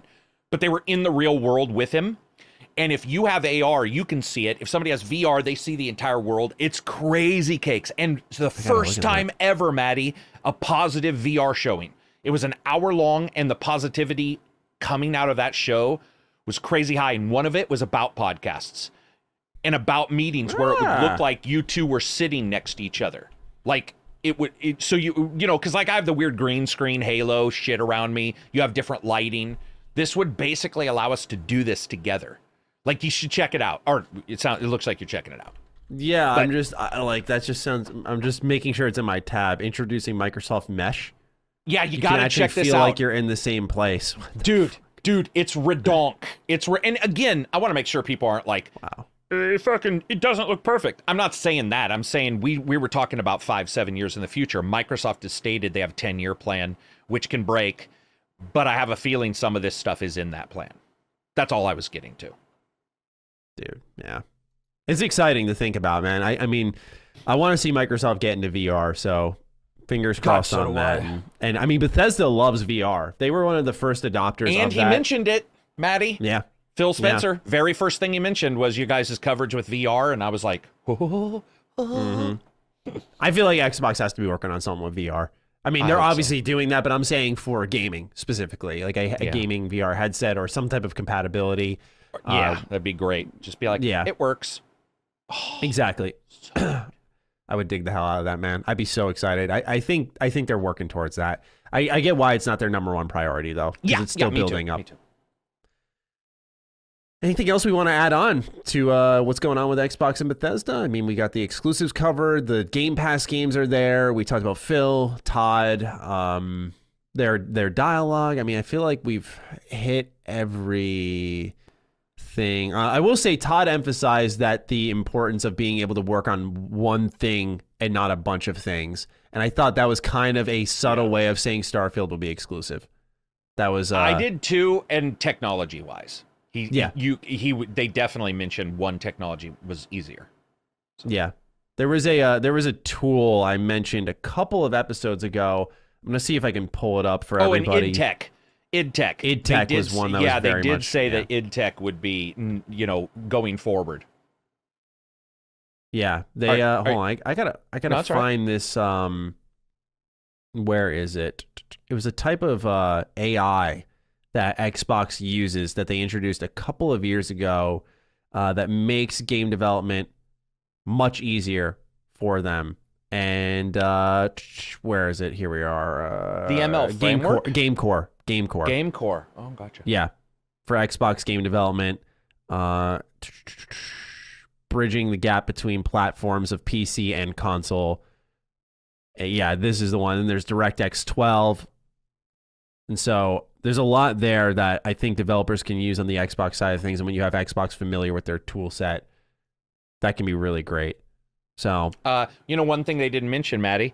Last thing, Bethesda also has the streaming technology that they showed for the shooter Oh, two yeah. years ago. yeah, yeah, yeah. So I noticed that they talked about streaming, but they didn't talk about streaming like any tech or anything. But they did state he did say the tech, including id tech, and I was like, I wonder if he's separating. I don't remember what that was called. It was like Oblivion or whatever the name was, but it was like Mhm. something special for streaming, uh, low latency streaming. And it's like, who knows? You know, those guys may know something. You know, I mean, you, you guys would be surprised how like one company will come in and be like, oh, dude, you have packet loss over here or whatever, and and it's just the way you were thinking about going along wasn't correct. So who knows what improvements that might bring? I can't remember the name. dude. Yeah, it's not. It's a. I keep thinking Gaikai, but that's PlayStation. No, It that's was, what- uh, yeah. Oh my On god! Live on. was uh, their own separate one. Then there was Gaikai, and then there was this one for Bethesda, and it was like, you know, I don't remember Nova or Orion. You know, Orion. Or, or, Orion. Or Orion. Orion. Um, that Yeah. that reminds me. D- what do you think of Wolfenstein? So they, if you noticed, he said something about the newest Wolfenstein and said, which was interesting because they weren't really championing it because I know a lot of people disliked it. I had an okay time, but where do you think that leaves Wolfenstein? Like, I wondered how far along that is because I think Wolfenstein will not be exclusive. I don't think timing wise hmm. it makes sense. I think they've been working on it for what a year and a half or two. Yeah. Like- yeah, it's interesting because they were also talking about how someone from Tango made a, a- an enemy for for for id for Doom Eternal, uh, and they showed that, and so they were they were discussing the- like I the collaboration. Okay. across, yeah, they were they were talking about the collaboration across studios, and so I wonder how quickly they can accelerate things, or if they said, okay, let's drop the PlayStation version, does that somehow like hurt their development timeline, or you know, feel like What they've if- wasted time? What if they fucking fix the fighting in Skyrim? Dude, oh, you're talking about the, the the VR like no, no, thing? I Oh. just mean the fighting in Sky in Elder Scrolls has always been janky. Oh, And dude, of remember Fallout that- that's 4 they did get well not to me, I just thought of it. So I don't know if my brain's slow, but I was like No, no. cuz this is the first time you said they did something together. The idea of like imagine Bethesda or id or whatever, whoever that guy is is on a plane and he's just flying to fucking you know, wherever Fallout 5's being made, wherever Skyrim's Mm-hmm. being made, and he's like, "Listen, bitches, it's my job to make your fighting feel like Dark Messiah of Might and Magic." Which, if anybody or Might and Magic Dark Messiah, if anybody's played that, that's got amazing first-person fighting, right. dude. Dude, Skyrim Yeah, I mean- with good first and or Vermintide style fighting. Sorry, now I'm getting excited. Well, I mean, Now I'm just Vermintide. continue. I apologize. well, it works because Vermintide, you know, third party exclusive with Fat Shark. So Yeah. Oh. maybe, maybe. Oh, I, I think that's long overdue. I mean, you could see in Fallout 4 there was a massive improvement to the combat. Is it like Destiny or something? No, but you could tell that it helped. They contacted Machine Games. they? they? they said that before. I think you told me that. Yeah, and so uh, they just put a bigger spotlight on that. But to answer your question about Wolfenstein and the timing of it, I agree. I've I've wondered that. I think a lot of future games will be exclusive, but you know, I- I mean, think of it this way: they said Starfield was in full development for since Fallout 4's DLC ended. So that's August 2016 was when Nuka World dropped, and they obviously dropped Starfield for a little bit to go full production on Fallout 76, get that out the door, then move back to Starfield. So point being is that was many years before this deal took place. I think that will be more telling because if Starfield is exclusive, they dropped a version that was probably fully developed, right? You have to imagine with all that time spent, you know, and instead they decided let's now go all in on this Xbox version of the game. Um, and the real question is, is that where maybe the reason we have $7.5 billion? We keep asking that because it is a very astronomical price. to Bethesda say, well, if we're going to drop Starfield from PlayStation, you're Yeah. going to account for Yeah. our prediction of copies sold uh, or something along those lines. Uh, that's entirely possible.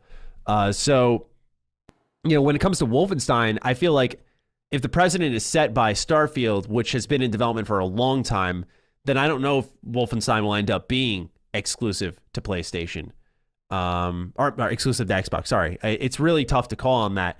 Um, it's just going to be a domino effect. Like I think Starfield will set one precedent, Wolfenstein can set another. If Wolfenstein's exclusive to Xbox, then Doom will probably be exclusive.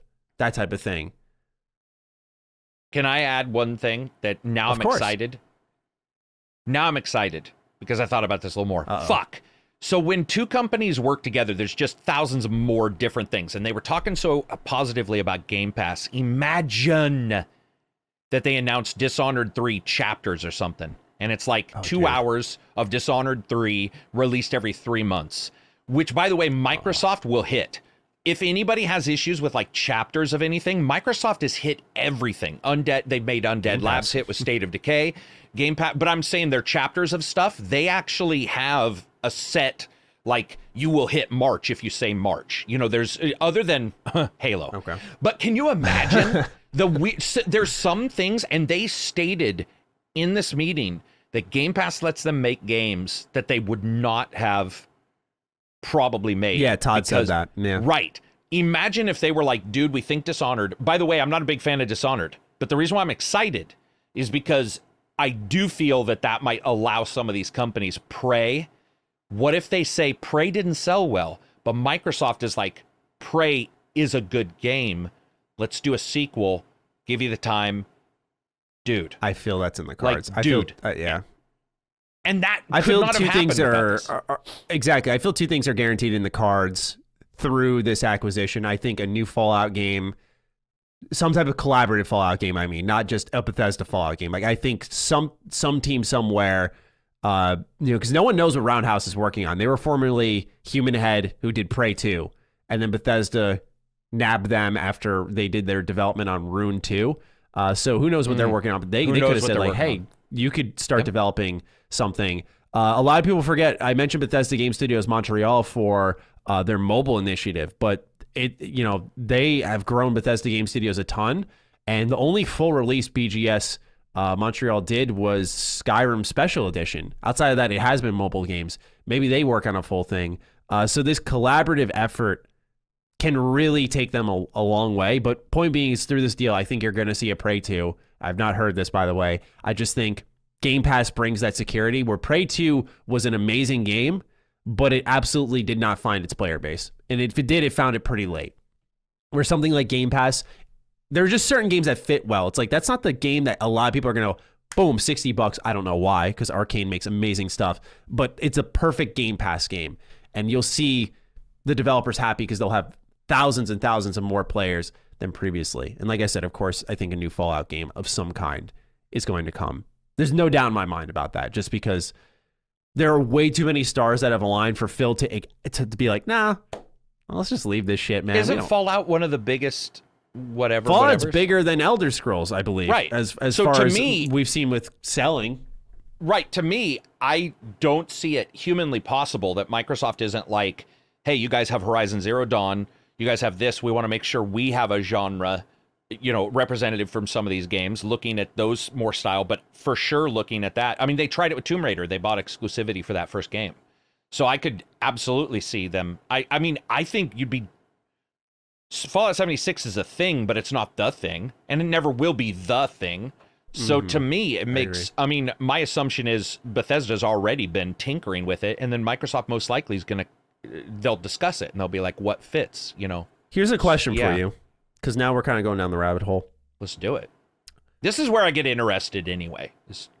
so these are exciting games to me. Let's say in our hypothetical situation, inXile is involved with a new Fallout game, right? We know they're working on a AAA RPG on Unreal Engine 5, but I think they're expanding their team more and they will have the capability to do a side project like this. Which conference does that get announced at? Is it Bethesda's or is it Xbox? Do you announce it at Xbox and then show more at Bethesda? Like, how does that? You know, I've wondered no, about that. That's I, I absolutely feel that. Well, also Microsoft will bring everybody out anyway. So Microsoft will be like, um, what's his name? I'm sorry, the guy from uh, inXile. Um, oh, Brian Fargo. Thank you.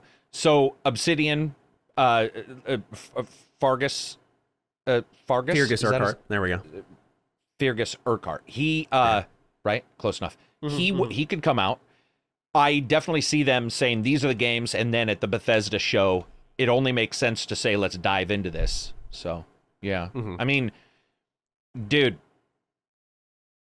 I mean, I just I don't think people get it. Even one ecosystem, Game Pass, even what there's there are pluses. It's happened. So you're going to have to deal with it. I would just say take the pluses out of this, which are the things we're trying to talk about. Look, we can talk about the negatives. It is it is going to stop some people from being able to experience games down the line. But even right now, maybe a game that goes on multiple systems, there's some stuff there that could be for example mods. Dude. microsoft has already stated they're looking i don't know if you saw this but yesterday um oh man what is it? Yesterday there was a game where microsoft stated that they are now looking at mods for it. It was uh oh stalker 2 stalker 2 of yep, by the yep. way we have stalker if there's a game out there that oh did i hit our news? No no no no no. I don't care. We can oh. it's it was literally going to be a passerby so go for it Okay, I was just gonna say if there's a game out there that probably needs a mod to fix some stuff, it's Stalker because Stalker is yeah. really complex and there's a lot. And so somebody may be like, "Hey, I want to make this a little easier for some gamers."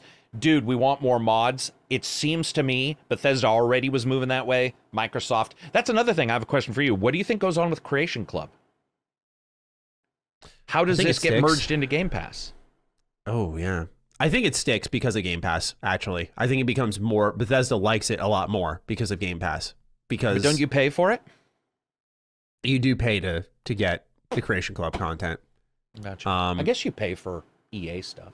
It's it's that's the way Microsoft makes. A, I, I think a lot of their money off of Game Pass because we saw how much Sea of Thieves rolled in after Game Pass because so many people, eh, you know, because we saw so many players, and in turn they were spending money on microtransactions. You know, same thing is happening with State Creation Club. State of Decay is another one. Yeah, I mean, having these, and I'm not a fan of it, by the way, just so people know. I I, I would love. I, I, I am conflicted on Creation Club because I am friends with a lot of modders and I understand how much it has helped them. Where Bethesda mm. does pay them to help them out. And these modders I have followed for years. I've covered their content. They are some of the hardest working people I know when it comes to this stuff, and they have kept the community afloat. So they deserve that pay and they deserve that security. And I would happily let that system exist just for them. But the pricing is not great. So if there was like a Game Pass discount, which we've already seen with like Outer sure, Worlds DLC, Sure, sure. you know, sure, that's fine with me. Um, but I think yeah, that system will continue to exist through Bethesda Okay. Game Studios games, you know, for sure.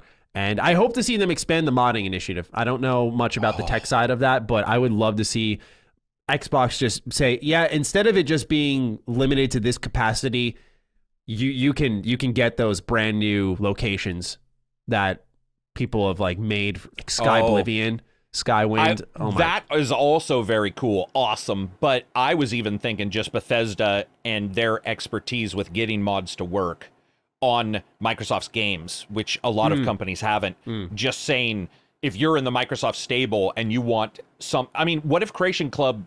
Whether the money goes away, you know, Microsoft certainly has talked. Remember, in the original Xbox, Microsoft was talking about Jenny can make her own skin for a th- for a skateboard and sell it. That Microsoft's already talked about that. So mods aren't too much different. What if they merge it all together and Microsoft states Creation Club maybe goes in your Game Pass and now any company can make mods for any games, but it's all Creation Club. Or like the it's- front they end. expand it to, to, to something like uh, what uh, Microsoft Flight Simulator does, right? Don't they have like a whole big Yeah. storefront kind of, and it's it's a little more Dude, kind of like that. I, maybe something along those lines. I mean, it would be awesome to go State of Decay. Oh, there's a couple mods here, and people get paid for them, right? I, I want people to get paid for mods. Like, I have no issue with that. Um, I think that's awesome. So, yeah, uh, that's another really big bonus. We might it might take a while, but I would love to see them, you know, merge and put together. Because I, I also don't like two prices. I don't like Creation Club being.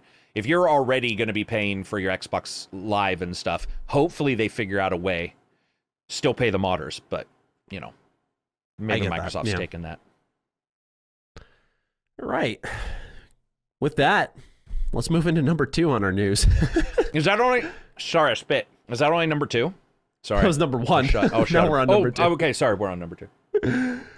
It's widely known that Xbox and Sega have been talks for some time now. To what extent, most are unaware, but it's clear a relationship is developing if bringing Phantasy Star Online 2 to the West, all of Yakuza being on Game Pass, and having Yakuza Like a Dragon's next gen update be exclusive to Xbox at its launch, if anything is to go by. By the way, that uh, next gen update is now on PlayStation 5, so go ahead check that game out if you're interested. It is very well possible the next step is being put into place, which would be taking Atlus games over to the Xbox consoles.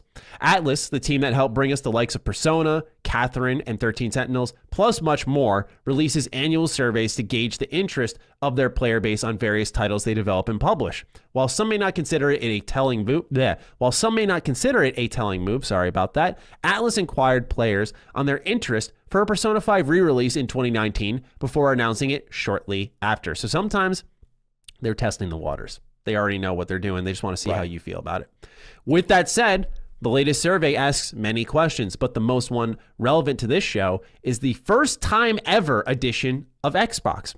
Atlus asks players if they want to see releases from a number of its core franchises on Xbox One and Xbox Series X/S. This includes the likes of Persona, Shin Megami Tensei, Etrian Odyssey, Dragon's Crown, 13 Sentinels, Odin Sphere, and Radiant Historia, just to name a batch. Now, this is the important part, I think, more than anything mentioned there. Persona 4 Golden was ported from PS Vita to PC June 13th, 2020, surpassing 1.5 million sales and 500k players worldwide.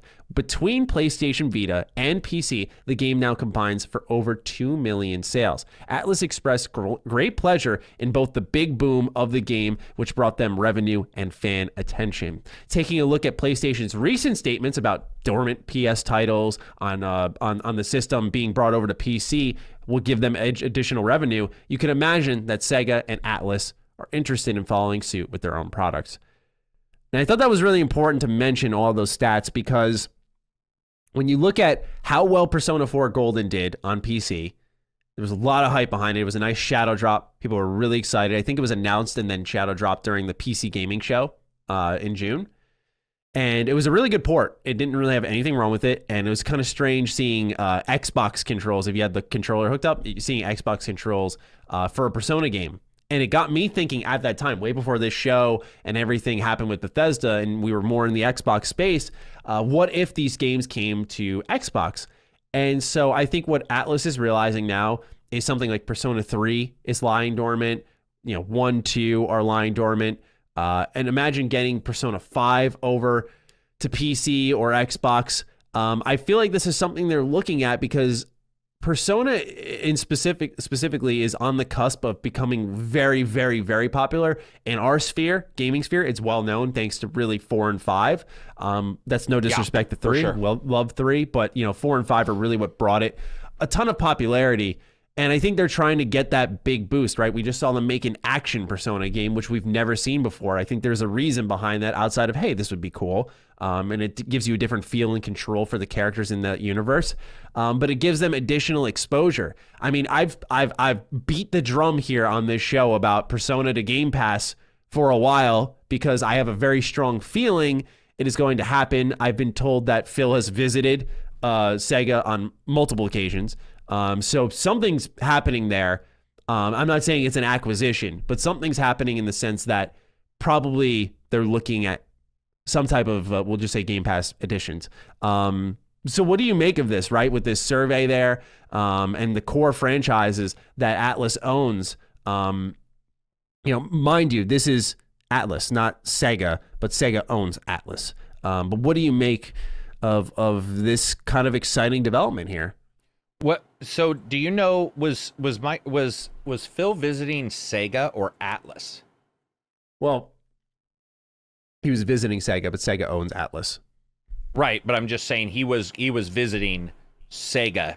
at Sega's like headquarters, Correct. I Correct. guess. Yeah, Sega. Yeah, he was visiting Um, Sega. Yeah, That's what I was like, told. Like I feel that that's more of an indicator that it would be a full on thing, um, because most likely he would go to see. I guess that's that is like how do you? Because here's the thing. Funny enough, in this la- in this event today, they stated that those guys had gone to all the different developers Mm-hmm. locations.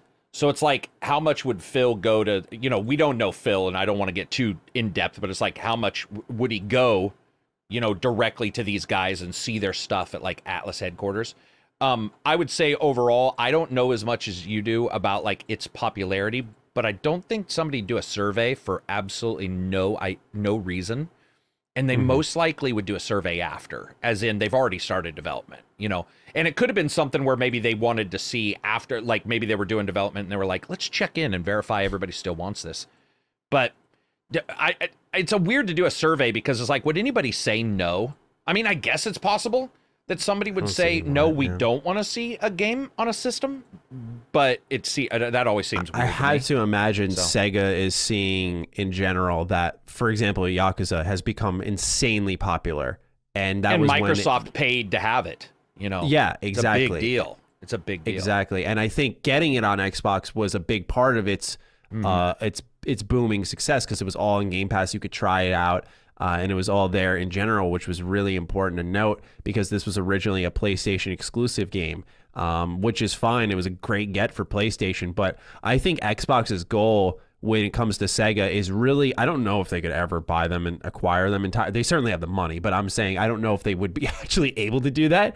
Um, but if they they did, that would be insane. I think their goal is to make sure that moving into the future, the next Persona game is on Xbox day one as well. I would agree. Yeah, I would Yeah. agree. That seems Get, that get seems the to be previous at catalog minimum. in the past on. yeah, yeah, and verify your watcher and and your Game Pass is a good place to put it because they've stated people go and watch the Game Pass, so, and Mhm. play those games. So yeah, I mean, test it out on Game Pass. Look at it. Maybe that's why the survey. Maybe this. Maybe people had good response to it, and so they were like, okay, we've had good response to this. Let's do a survey and see. Um, but I would agree. I don't think Microsoft would not want those. I mean, it only makes sense. It was their exclusive, by the way, for the Xbox. Like the that update was theirs. That's pretty crazy when you think about it. Like that it was just for Xbox Series. So Yeah, I um, it's it's funny because Sega actually praised Game Pass uh, a couple of weeks ago. I saw on that, this show, and um, yeah, they said they're really happy yeah, with it, and that Two Point Hospital had pushed over three million players worldwide. Um, so I I have to imagine with uh, you seeing Bethesda, th- this pulls us back into the Bethesda conversation. One of the key things that Sarah had said was, and I thought this was very telling, was Bethesda joining up with Xbox brings confidence to their other partners. So I feel like they were talking to someone else. Bethesda committed first, and now Bethesda showing how happy they are, which that- I don't yeah, like. true. They don't have a gun to their heads, and that will likely lead to the dominoes dominoes falling for another company at some point down the line.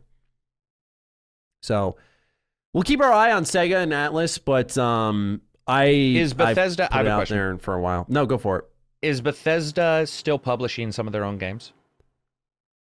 Um, yeah, I actually don't know about that. I have a question. Would it be too crazy to see Atlus games published by Bethesda for Xbox? I guess it would because Sega's the pu- no Sega owns them. Sega's the publisher, but Atlus goes through Bandai Namco for publishing. Sometimes, do they not, or am I wrong on that? Is it? Sorry, all, I was they- actually. I'm not trying to be rude. I was actually reading. Uh, Pete Hines says Bethesda will still publish its own games. Uh, this was September 21st, 2020. so.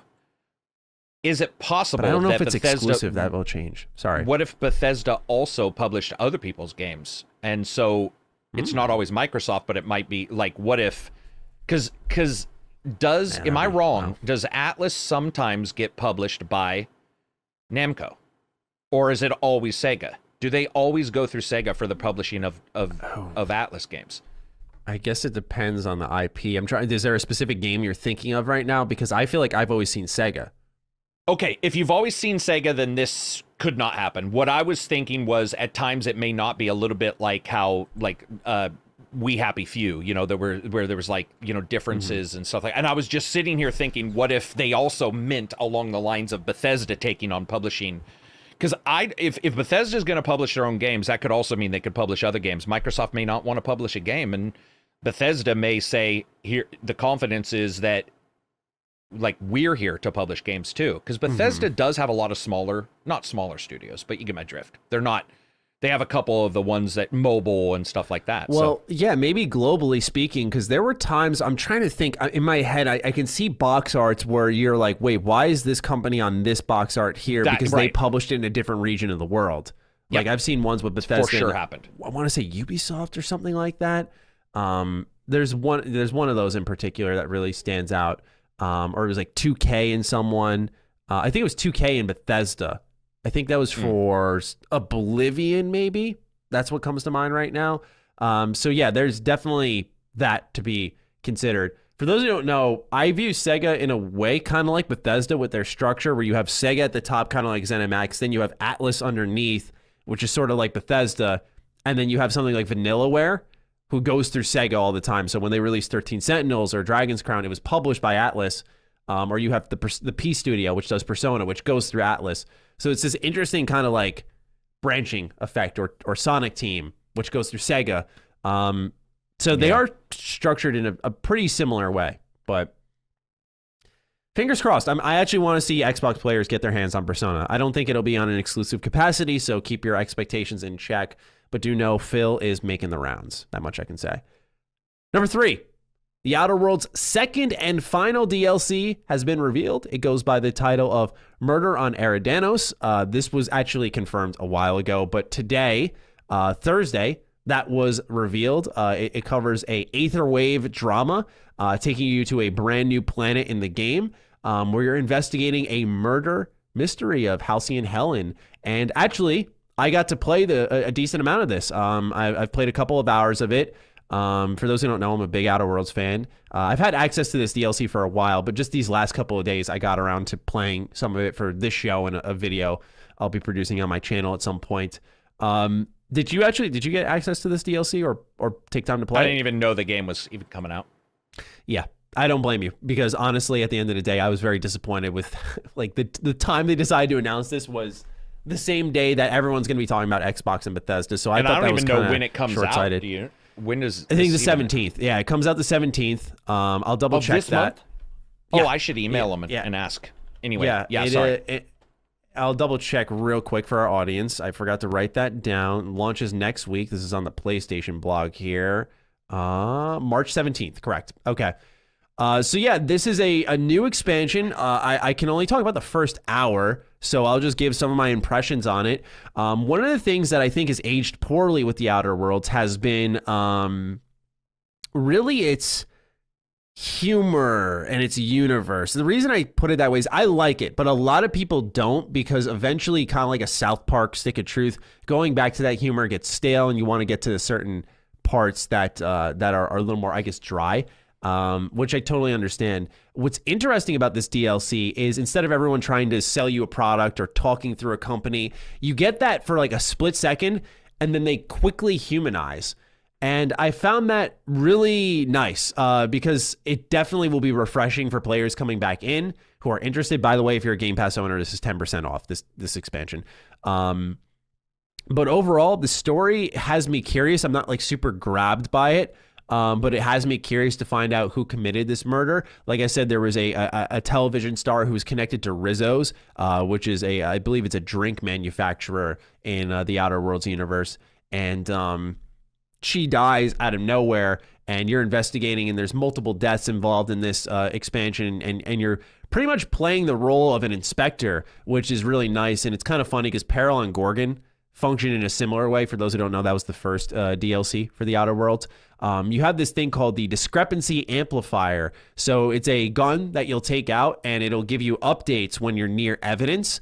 Uh, and you'll take it out and you'll scan the evidence and you'll go through a conversation, like kind of eh, using skill checks to, to identify things with the dirt, uh, for example, and see like what exactly is going on here, or inspect a body, or inspect a chemical or a drug. Uh, so it's actually very cool in that way. Uh, it's very much just playing the role of a of a detective, and I enjoyed that a lot. Uh, what's my biggest issue is actually there is uh, it's a lot more expansive and flat, by the way, compared to Peril on Gorgon. So Peril on Gorgon was an asteroid, so it very yeah. much reminded you as an asteroid. So like you can you would die on certain drops if you if you fell too far off uh, a cliff, for example. Um, and so it made navigating like going around big bends and and and taking detours to get to certain places, and it was kind of frustrating. Uh, this doesn't gotcha. have that. But the, the trade off is it's very strange where you have this Central Hotel. This is where the murder happened. This big hotel. Think of the Tenpenny Tower, tower right in the middle of this planet.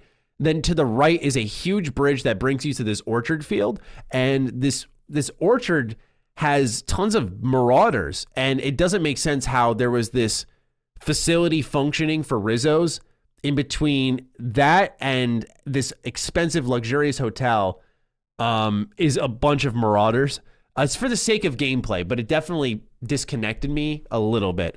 Uh, but overall, the the enemy design was a little bit better. One of my complaints with Peril on Gorgon was was that the combat sucked. The AI still does suck. Um, and so I gotta say, uh, I've been enjoying it. Is it something you got to leap in and play right now? Probably not, but I think it is really good for those of you who are looking for more of the Outer Worlds. Um, I still have to develop my thoughts on it. I have some notes written down, but uh, overall, after a couple of hours of playing, I, I do dig it quite a bit. Um, At least better than Gorgon, you're saying. Yes, definitely better than Gorgon. Uh, Gorgon, I, I, liked. I thought it was more of a good thing, but it definitely was safe. Uh, they do take some of the the um, audio logs and they bring them into uh, this DLC. So not only are you having conversations, but you're learning more through these audio logs, which is something that the entire base game of the Outer Worlds did not have. Uh, so that is significant and worth mentioning. But otherwise, yeah, more dialogue, more skill checks, more endings, more side content, uh, a little more expansive, and I think better designed in a lot of ways than Peril Gorgon already. Um, so I'm very excited to to finish this one up. Um, so I, I, like it, and uh, that's all I can add. Is there anything that uh, I don't want to say you can add because you haven't played it, but yeah, no, I just I, I actually just emailed them. I th- it looks like I did get pinged on it. I guess somehow I missed that one too. But uh, um, regardless, like I'm interested in it. You know, Gorgon is like one of those. It's a DLC that maybe I didn't fall in love with, but I do still like the original game. So, I mean, I'll I'll explore this no matter what you know, even if even yeah. if it's considered terrible, I'll, I'll probably still check it out because I, I did. I mean, I just really did like that game overall. Like it's just it's it's just enjoyable. It's not huge, it's not amazing. It was just a good, solid game. Yeah. So there's more of that if people are interested. And once again, there's a discount through Game Pass. You can get the game on Game Pass, so you would just only have to pay for the DLC. And if you're looking to dive back hmm, in, just that. note that you have to be around level 30 and you cannot do it if your save file is complete. It's a before the game ends type of thing. So, I hate that shit. Sorry. yeah, sucks for sure. I had that issue with Gorgon, I think, because they gave me the Gorgon had that too. wrong. They gave me the wrong um, game version, and so Mm-hmm. I ended up having to fucking play a bunch to get to the point to Yep. where I could play it, and that that's not the best way. They they provide a save file if you, but I guess they didn't mention that to you because like I, I that's what I said. I haven't even them. I- looked at the email. I just saw it. Uh, like I literally haven't turned this game on. I didn't even know it was coming out. I just Oh no, I meant for. Peril. When when I got Peril on Gorgon, Oh I, no, I did. yeah. I did as well, but it was. This is gonna sound weird. It was a character I didn't like, Maddie. It was. Uh, Oh, it- I did oh. use a save game and I loaded it, and it was like some girl with skills I didn't, you know, like guns and weapons I didn't like, and so I played it. Yeah, you want to play your way. Yeah, All right, number Good four. stuff. Yeah, absolutely. I agree. It's a great game. I, I I think it gets a little too much shit nowadays, but we'll talk about that down the line when it comes up. Number four, mods to Stalker 2. It is possible. Quote, mods are extremely important to the Stalker franchise, so our case can be considered quite unique, end quote. Bokarev told Kotaku when reached for clarification via an email about this very subject. Quote, to a certain extent, we have chosen Unreal Engine for Stalker 2 because of its mod support, end quote. GSC Game World, the developer of, uh, of Stalker 2, Bokarov continued, is committed to making mod support a priority to Stalker 2 on PC and hope to implement that functionality as soon as possible. But Xbox is a whole other story. Quote, the Xbox ecosystem is completely different, end quote, Bokarov added in the email to Kotaku. Quote, there have been cases of official mod support in the Xbox family. They're talking about, of course, Bethesda Game Studios and as well as Microsoft Flight Simulator. And Microsoft was extremely supportive with all of our ideas so far. We're thoroughly investigating what we can do at the moment, and there's probably a way for our ideas to become a reality. However, this shouldn't be considered an official announcement as the development process is a long way off trying and optimizing until release end quote so they're looking into mod support for xbox and i think this Yeah. is a good sign of things to come for future games very happy to see that more user created content the better and that game needs it. hmm from what i've heard i've actually never played stalker i've heard good things They're though. just really complex. They're uh, like they've got a lot of systems going on. I think those are the ones that are notorious for having issues. So if we can get, uh, you know, a mod on there, I'd be happy. Yeah other than that not much for me to personally add unless you you got more to say Mm-mm. Yeah. Slow week otherwise outside of Bethesda for those who don't know, which understandably so. Microsoft kind of shut the doors on everything and so that you would only focus on this.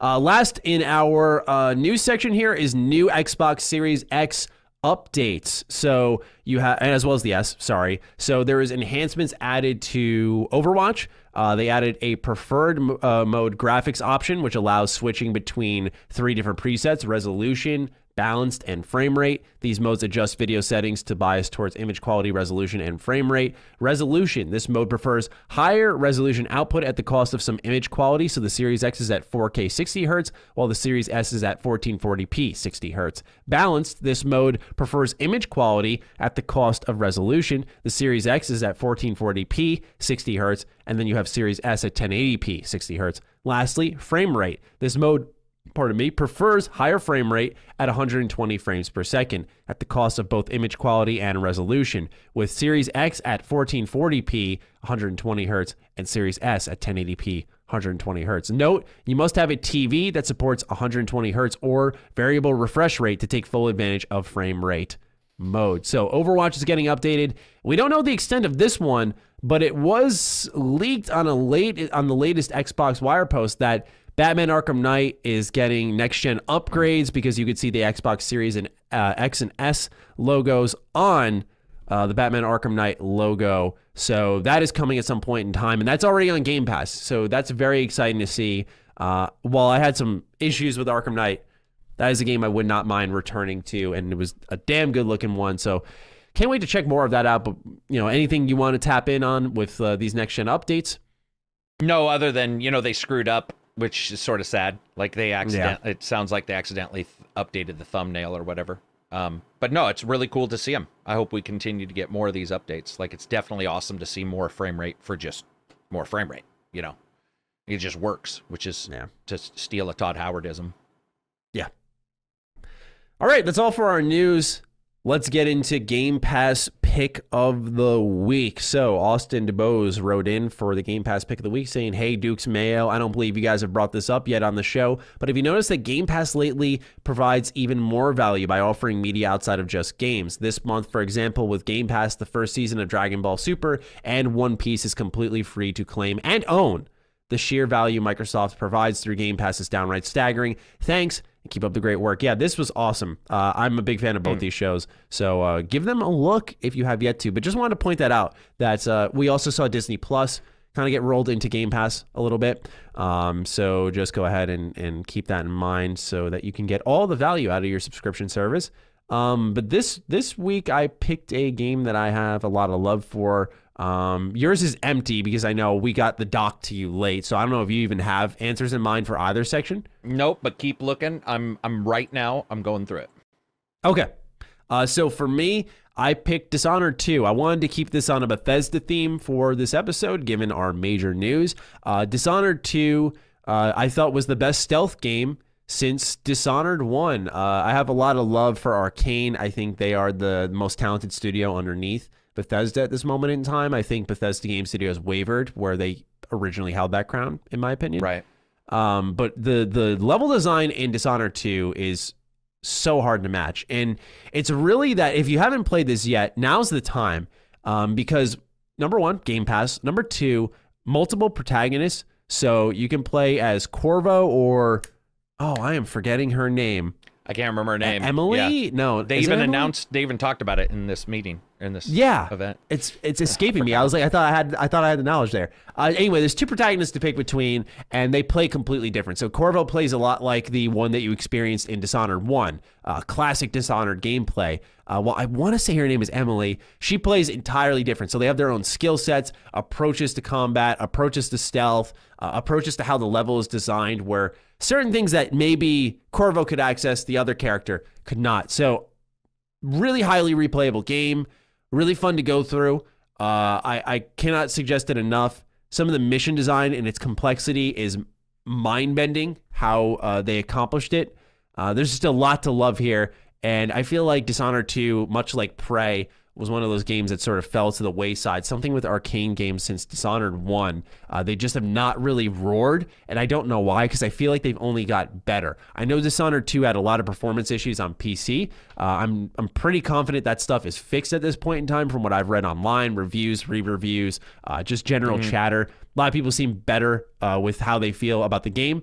Uh, so highly recommend if you have yet to give Dishonored 2 a look. I know that for Game Pass Pick of the Week, I personally like to make sure I have a game there that maybe you haven't given a shot. Uh, but with something like this, I feel like given its sales, this is the time is now to to look at Dishonored 2. Uh, but also, if you're new to the franchise, then Dishonored 1 would would also slot in here. I, I arguably I have more nostalgia for Dishonored 1 because it's a little more simple, right? There are a couple more load screens because of that, where 2 is a lot more broad and open.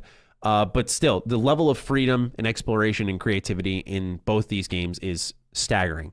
Uh, it's overwhelming at times, uh, but just it feels so good to be in these worlds. And um, because they're all open hubs instead of an open world, um, there's a lot of collectibles that that'll help you in your progression systems uh, that are located throughout the environment. Um, finding environmental details like safe information and and and finding like a, a safe in an apartment.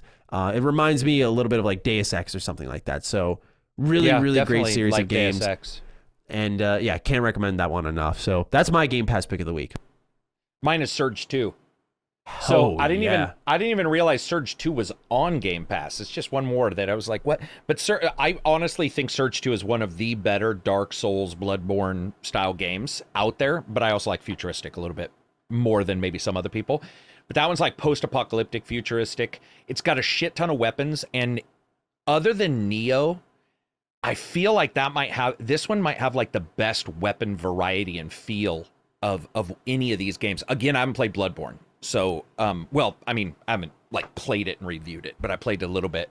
So Nioh would be my high point, but I would say Surge 2 in particular is probably next in line. I love the combat in Surge 2. There's a couple difficulty bumps, admittedly. There's some statue bastard uh, in a park. the park area in the center was a little rough. Um, but you're Right. always doing like the wicker work that goes on. There's there's that shortcut shit where it's like you you unlock a shortcut and you're like, seriously, dude, why would nobody have had this shortcut unlocked? Like it makes no sense. makes less sense like a Dark Souls or a Nioh. Well, Nioh's pretty bad, but uh, it's so fun. It's so fun. The different weapons, the upgrades, the way you move around, and you're this augmented person, and you can chop people's arms off to grab their parts, take them home, and fucking build more better parts for yourself. And there's few games in the world where like you get to just collect your enemies and take them home. And that game allows you. It's it's weird. It's like I'm gonna take your arm off and then I'm gonna upgrade my own shit with it, which is It's so it's- satisfying. It's, satisfying. It's and heavy combat, by the way. It doesn't matter Mm-hmm. if you got the fucking arm blades, I can't remember their name, or the big ass. There's this massive staff spear you can get in that game.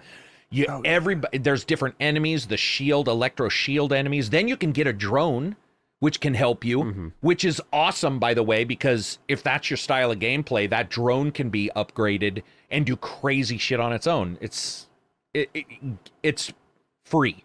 Go get the fucking game. Yeah. Like, I, I think that it. one's massively overlooked. I'm shocked that's on Game Pass. I didn't even know. I'm shocked that. it's on Game Pass too. I it was like I hit. I just was like, I'm gonna start hitting odd pages, see if I find something cool, and I saw Surge, and just everything else went off my list. I was like, dude, Yeah. that just makes no sense to not Yep. say that game. It's awesome.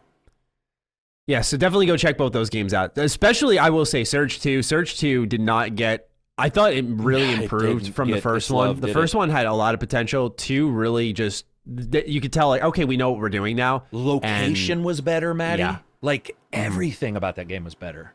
And I will say, difficulty wise, a little bit more manageable. I had some issues with some of the bosses. It felt a little clunky Oh. at that point, but uh, you're talking about, you know, the, the, the I think the, I do. the first one, the, the, The spider. scorpion, I think. Or Scorpion whatever. Spider. Yeah, dude, I'm pretty sure you Holy and I may yeah. have even. I don't can't remember if you and I talked about it during the review or after, but I remember some people who were reviewing it going like, "Dude, seriously, this dude is like he's Mm. rough." And there was a run to him, wasn't there? Also, or did Yes. was it? Yes. Yeah, Oh, that fuck, was yes. not fun. Yeah. Not fun. I'm sure we've So- sold them now. Yeah, yeah. You but you wanna suffer?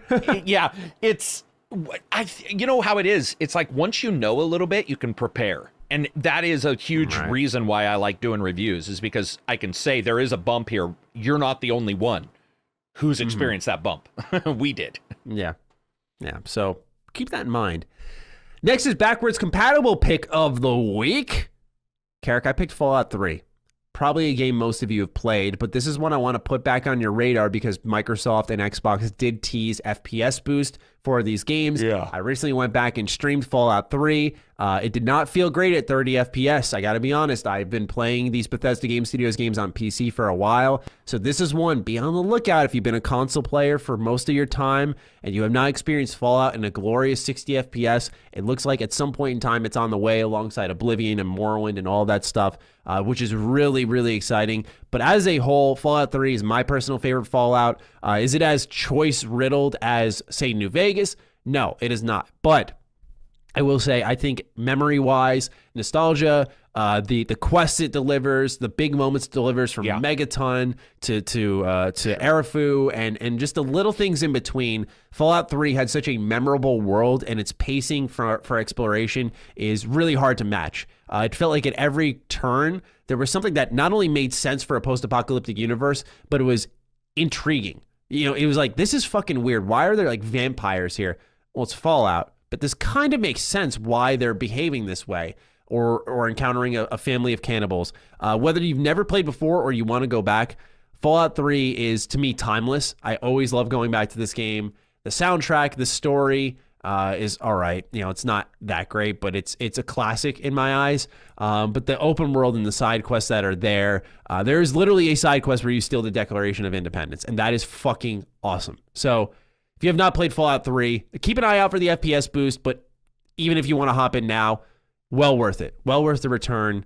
Uh, the, the the intro of that game is one of the best of all time. You know, the the Vault 101 with the goat and the time lapses. It's just Oh man, I, I love this game to death. One of my favorites of all time. Uh, a pretty obvious suggestion. I imagine a lot of you have played it, but uh, the other thing is, this is not like uh, Fallout 4 or even Skyrim to some extent, where there's a lot of procedural generated content. Uh, this has really none of that. So this game will not run up your play clock an extraordinary amount compared to other open world titles. You will still be here for a while, but it will not be the 90s, hundreds of hours that you would normally spend or be expected to spend in an open world. It's more along the lines of you complete complete all the content in like 30, 40 hours. It's pretty manageable. Uh, that's not including DLC, which some is good, some is not that great. But Fallout 3 is my back compat pick of the week. Game of the Year edition, by the way. Uh, well, yeah, right, because that'll yeah. include all the DLC, won't yeah. it? it just all the DLC. Yeah. So for me, Uh, I do want to say with Fallout, especially. So I think Fallout Three is better than Fallout New Vegas. Let me just let me just say exactly why. Because I feel that Fallout Three is a little janky and didn't right. streamline stuff to just be the story that you saw in Fallout New Vegas, which arguably people like better. I actually think Fallout 3 was like, hey, let's try some stuff. This is the first Fallout that's going to be first person. And some things there's some bumps in the road and for whatever reason that's why my memory also sticks with 3 is the bump like there were just there was moments where you weren't always hightailing it to another quest. Sometimes in fallout 3 what's the first place you go to um megaton right? Yes. Yes. So you Megaton's pretty easy to go to if you want to follow that quest, but like I did with that one, I just turned left and started walking and there's there's just quests in weird areas and this might be because it's not procedural generated, but mm-hmm. there's things that just capture my attention in that game more so. So yeah, I would I would definitely agree with that. My answer though is one that I was going to be honest, I did not know was backwards compat. I've got the original, I've got the 360 and that's where I played it, but this is going to sound weird, but Dead Rising 2. And it's not Dead Rising 2 the normal, it's Dead Rising 2, uh, which is the one with, uh, it's called Code West. It's the one with Frank West replacing the Dead uh, the Dead oh. Rising 2 main guy. I didn't hate the Dead Rising 2 main guy. I was just blown away that they were like, let's make the game pretty much again, but we'll put Frank in because people mm-hmm. like him and those are on backwards compat and i i really love dead rising. Dead rising has a ton of gameplay man.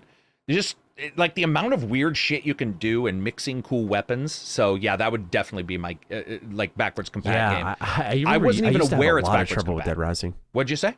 I used to have a lot of trouble with dead rising too. I remember when i first played it like my friends used to make fun of me because i i sucked at the game. I died a ton and yeah, I, I haven't yeah. gone back since. I got to the roller skating boss fight, which that game has awesome boss fights, by the way.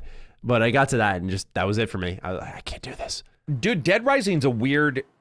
Okay, let's do it. The Dark Souls of zombie games, but it is like it is. Not to be rude, I'm just thinking about it, and I'm thinking about how you could die mm. and the time limits. Even though two and three, you know, adjusted the way those were done, but you could die on a boss and be like, "Why did I die?" Or or not why did I die, but the guy moved like he had a chimney up his ass.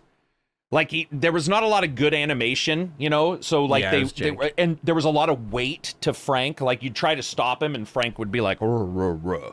you know. And there was the fatigue systems and all that. So anyway, Dead Rising is an awesome uh, series, and I don't know if three, no four is out on uh, Game Pass, but if it is, you should also check out four. Despite what everybody says, I liked four fuck everybody else.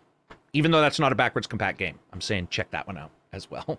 Yeah, fuck everyone else. Why not? Yeah. All right. Now we move on to PC deals of the week. So I put a little note here that uh, hardware has been hard to find as I'm looking to build my own PC. Uh, just know that some weeks will be scattered on the hardware side of the deal. Right. So if it just looks like, oh, it's just game deals, Matty, please spare me please don't say it. I'm, I am well aware we're going to be doing a lot of game deals in the uh, the coming weeks, just because it's getting harder to find hardware. Uh, because these sales will sometimes pop up, they will exist, uh, but by the time that you can actually get them. Uh, for the main show, when it goes live to everybody, that sale may not be available. So I try to be conscious of what uh, people can go and actually buy when it goes to everybody. So you'll see quick deals or quick available availability of stock, but Not enough time for us to get this show out.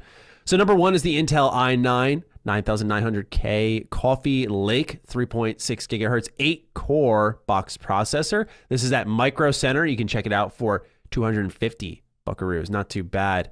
Uh, for a little bit more than 250 bucks, you can get at Best Buy the WD Easy Store 16 terabyte external USB hard drive. So this actually factors out to 16 bucks per terabyte.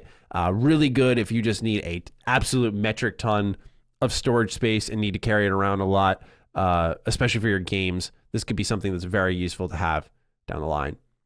Now on for games itself.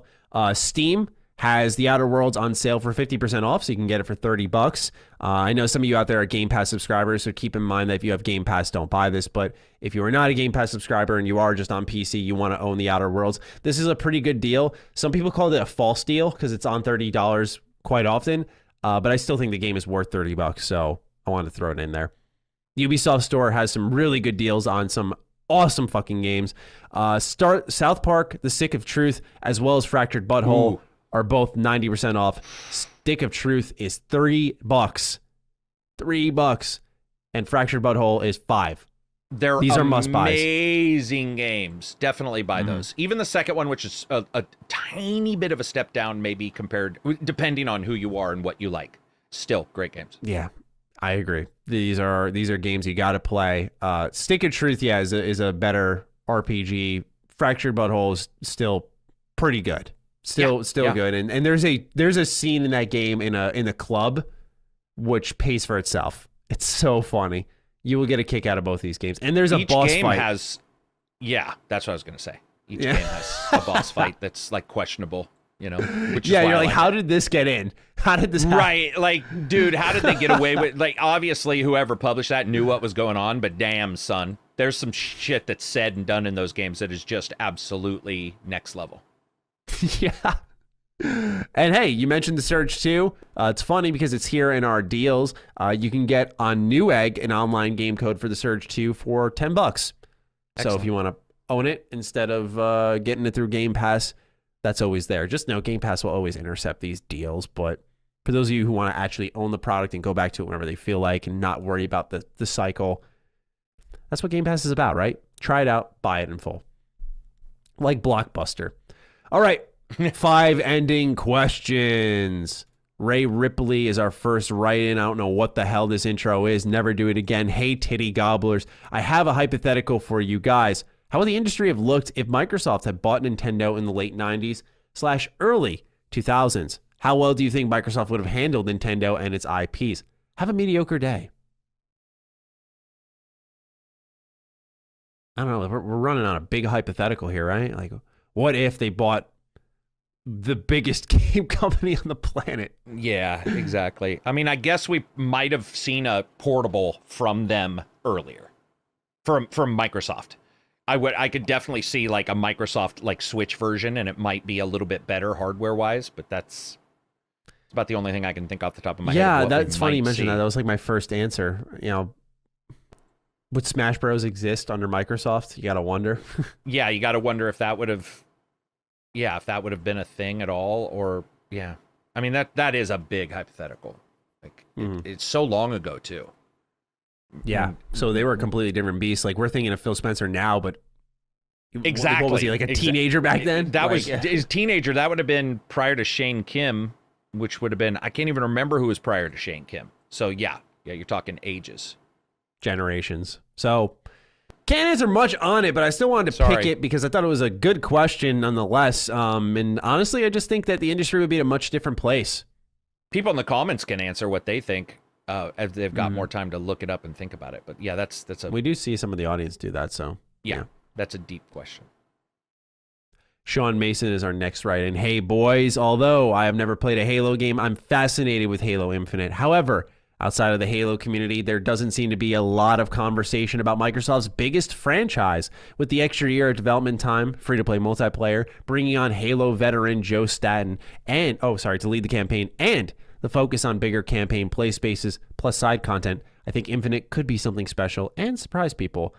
What does Halo Infinite need to do to be in the Game of the Year conversation? Best, Sean M. P.S. One of my seventh grade students just discovered KOTOR and he is in love with it. Let's go. Let's go. Cool, cool. Give that student an A. All right. uh, I I don't. And some people are gonna be like, "Why'd you pick this question?" I don't like the question. What does this game need to do to be in a game of the year conversation? Because I feel like that's better retroactively. Because you could obviously say for any game before launch, have a good story, have great gameplay, have a loop, you know, have this, this, that. I feel like it's better to look at it afterwards. Why did this end up in the game of the year conversation, or what did it miss to to not be in that? Uh, so ignoring that, I wanted to focus on I think what is a important question, which is the conversation around Halo. Um, do you think there is enough at this point in time? Um, because I, I would say I'm on the side that yes, and some may scratch their head at that. Well, Matty, you know, they they haven't showed the game off since that kind of failed reveal, and they've only shown pictures since then. And that's exactly my point. Is they're talking a lot, but they really have yet to show. And while I was more excited about the Halo screenshots than Karak or Dustin when we were on ham radio, fucking Dustin's become jaded too. Uh, even with that in mind, I still have to say that. Uh, oh yeah, I forgot they, about that. Yeah, right. I, I, dude, I was fighting a war that episode. You were man. fighting was, a war. That was you against the world on that one. I, I really was, man. That was a battle. But do you think there's enough conversation going on? Because I think there is for for what's there. They, they surprisingly is being talked about a lot. I would agree completely. I think there's more than enough conversation for what we've been shown. Um, and uh, like we just won't know until more of it's shown. There's just not a lot shown, and what was shown, the conversation was negative because it was a negative showing. So, like to me, it's commensurate. It's pretty. It's. I mean, what are you going to talk about other than everybody saying it doesn't look, it didn't look ready? Uh, but that's been said. Yeah, exactly. And, you know, while, for example, you mentioned bigger campaign uh, play spaces and side content, that's great, but we need to see that really in action. We saw the bigger yeah. play space, and that was talked about. The side content, however, we don't know what that's going to be like in action. And more times than not, companies are going to show you the big thing, the important thing, not the side thing, so that the side thing can almost develop its own conversation and surprise people. Um, but yeah, ultimately, I think people are getting more optimistic about the game when when folks talk about it. I think they have the right things in place right now. You know, they did take that extra year. They do have the free to play multiplayer. Bringing on Joe Staten is is great. Uh, I yeah, do think opening sure, things up is good. Uh, so there are a lot of positive steps. I think people are anxious to see that re-reveal, and Microsoft knows they need to get it right. Um, so yeah, honestly, with me, uh, I think that it's getting enough conversation for where it's at, and in fact surprisingly, not a lot of people are are shitting on it now like they were a couple months ago, and that's kind of impressive to say, given that they had a very bad showing and then only did screenshots since. So to me, that's a little something. Yeah, true. Joseph Loretti is our next write in. Have either of you been playing the Outriders demo? I think the demo is going to help this game sales wise. Everything from the demo carries over into the game upon release. I personally have been having a blast, and I hope more companies start releasing demos like these. People Can Fly have definitely earned my money with this game. So let's talk about Outriders a little bit. I don't agree. at all. I, but I, I, well, I don't agree on if it being it, it, uh, on it being that good, but uh, it certainly demos help. I mean, because people don't need a perfect game, like they need a mm-hmm. fun game, and I think there's fun to be had with Outriders as long as you have the pre-warning that a demo or a review is. I don't think people realize that like a demo and a review can sort of be the the alert hey, there's problems here in Surge. I talked mm-hmm. about the difficulty. You've talked about stuff in, in games that we suggest for. In fact, we're giving mini reviews when we are talking about, you know, like the the, the uh, backwards compat or something because that's yeah. because we played them. So demos are great. So I would never say anything negative about the demo. It's just I came away from the demo far more worried than I was, especially now that I've played it some more and there's one or two character classes that just don't feel ready at all compared to others. Mm-hmm. And then the longevity of it, I question. Um, but that just might be me, man. 60 bucks might go farther these days, you know, because of COVID. People might just want to play a, you know, zoned out shooter. Yeah, I I I keep saying it, and I gotta put time into the demo. That's on me because now I've I've had some time open up, and I have not leapt to it. Uh, I've been playing Metal Gear Rising: Revengeance, to be honest. But why? Oh no, revenge. I'm sorry. I'm sorry. Yeah, I know you you're were thinking. I know you're thinking. Yeah, Fuck. I know you're Yeah, thinking of right away. I was like, "There's no way he's saying why about that game." yeah, sorry. Anyway, continue. sorry. Um, I got to get around to playing the demo though, uh, especially because I want to review this game. But when I previewed it back in August, it's funny because I really did enjoy it, and I feel like I, I have a good feeling about this game. I really do feel uh, it can create a good conversation at the minimum, and maybe I'm more invested in that than anything. Uh, but the reason is because it looks live servicey, but it is not a live service game. So their end game content they directly said we're not going to recycle or reuse anything. Now Yeah. we will see that in action, but to me that is very exciting. Now it does depend on the support provided and how they are going to create more afterwards. But I got to say, this one felt good when I played it. It's funny because this is where I need to play the demo, right? So just be aware of this. I played a class, uh, the the uh, what, what was it called, the the Technomancer or Technomancer and Trickster are the two T's. So you probably Yeah. played Technomancer. Tech? I did Technomancer because it was the turret one, and I liked that class. right. Then a lot of people say that class sucks now. So it seems like something between my preview and demos has changed. And so that's worth noting. I have a it could have been good back then and it is not great now. So that's why I want to go into Outriders, but right now as I speak with just that impression experience and from what Yeah. I've seen and read, I do feel good about the game because it is something that you and I have called for, which is hey, we want a co-op game, not a live service game, a continuous world co-op. And I think there's a Right. big difference there. So yeah, very big. My biggest concern with that game's level design. I felt like uh, the cover and the the placement of enemies, and sometimes they would shove you down a tunnel and then send eight gigantic enemies that can knock you back into it. And that was really frustrating. Even though the game rewards aggression, it wasn't the the idea they had was oh this will make them uncomfortable and they'll have to get mobile and really panic and it'll be a fun dynamic moment. When instead it's like yo this is annoying. Like I can't fight and I can't do what I normally would do. And you fight with the camera and stuff. So there are flaws. This is not going to be a game that suddenly appears on on Twitter and you see, wait, it got a nine. Unless I shouldn't say that too soon, but Dude, it shouldn't. don't say that too soon. We we had to live through the medium, which will forever be indelibly That's what I burned into of. my fucking That's what I brain. Dude, I legit feel like I did not play. You know how it is where sometimes you'll blow something out of proportion as a joke, right? You'd be like, Yeah, we do it with like, we'll be like, Primal, fucking worst game ever. so, medium, something is weird with that game. I just don't get it. I don't get it, man. I don't, I felt like I was off, you know, like. I was just like, what's happening? And admittedly, people hated it far worse than me and liked it far more than me. But the people who liked it and what they said, Matty, what did they play? Because that's not the game I It's a played. mystery we continue to solve. You know, Yeah. Yeah, so this I- is I one. would love I, to know. also believe the big thing though for you is you played Outriders where you were powered up a little bit, and yes. in the yes, we did talk demo, about that. Yeah. your day one. Yeah, so I would like to if if you might have a better opinion because you might go, okay, I know where we go, and I know now I know where we start. If that's the Mm. Yeah. way you come out of it, then that'll just give me more hope because then I'll be like, okay, maybe it evens out. Um, Yeah, you know, I'll as it definitely play it this weekend then, and and update my opinion on it because I think it's pretty important for the conversation. It'll definitely create what I think is a good perspective on exactly what you were just talking about. You know, where it was, where it is now, and and maybe it is a scaling thing that I experienced. So we'll see on that. Thank you, Joseph, for writing in. James Kinslow the third is our fourth write-in. I almost said last.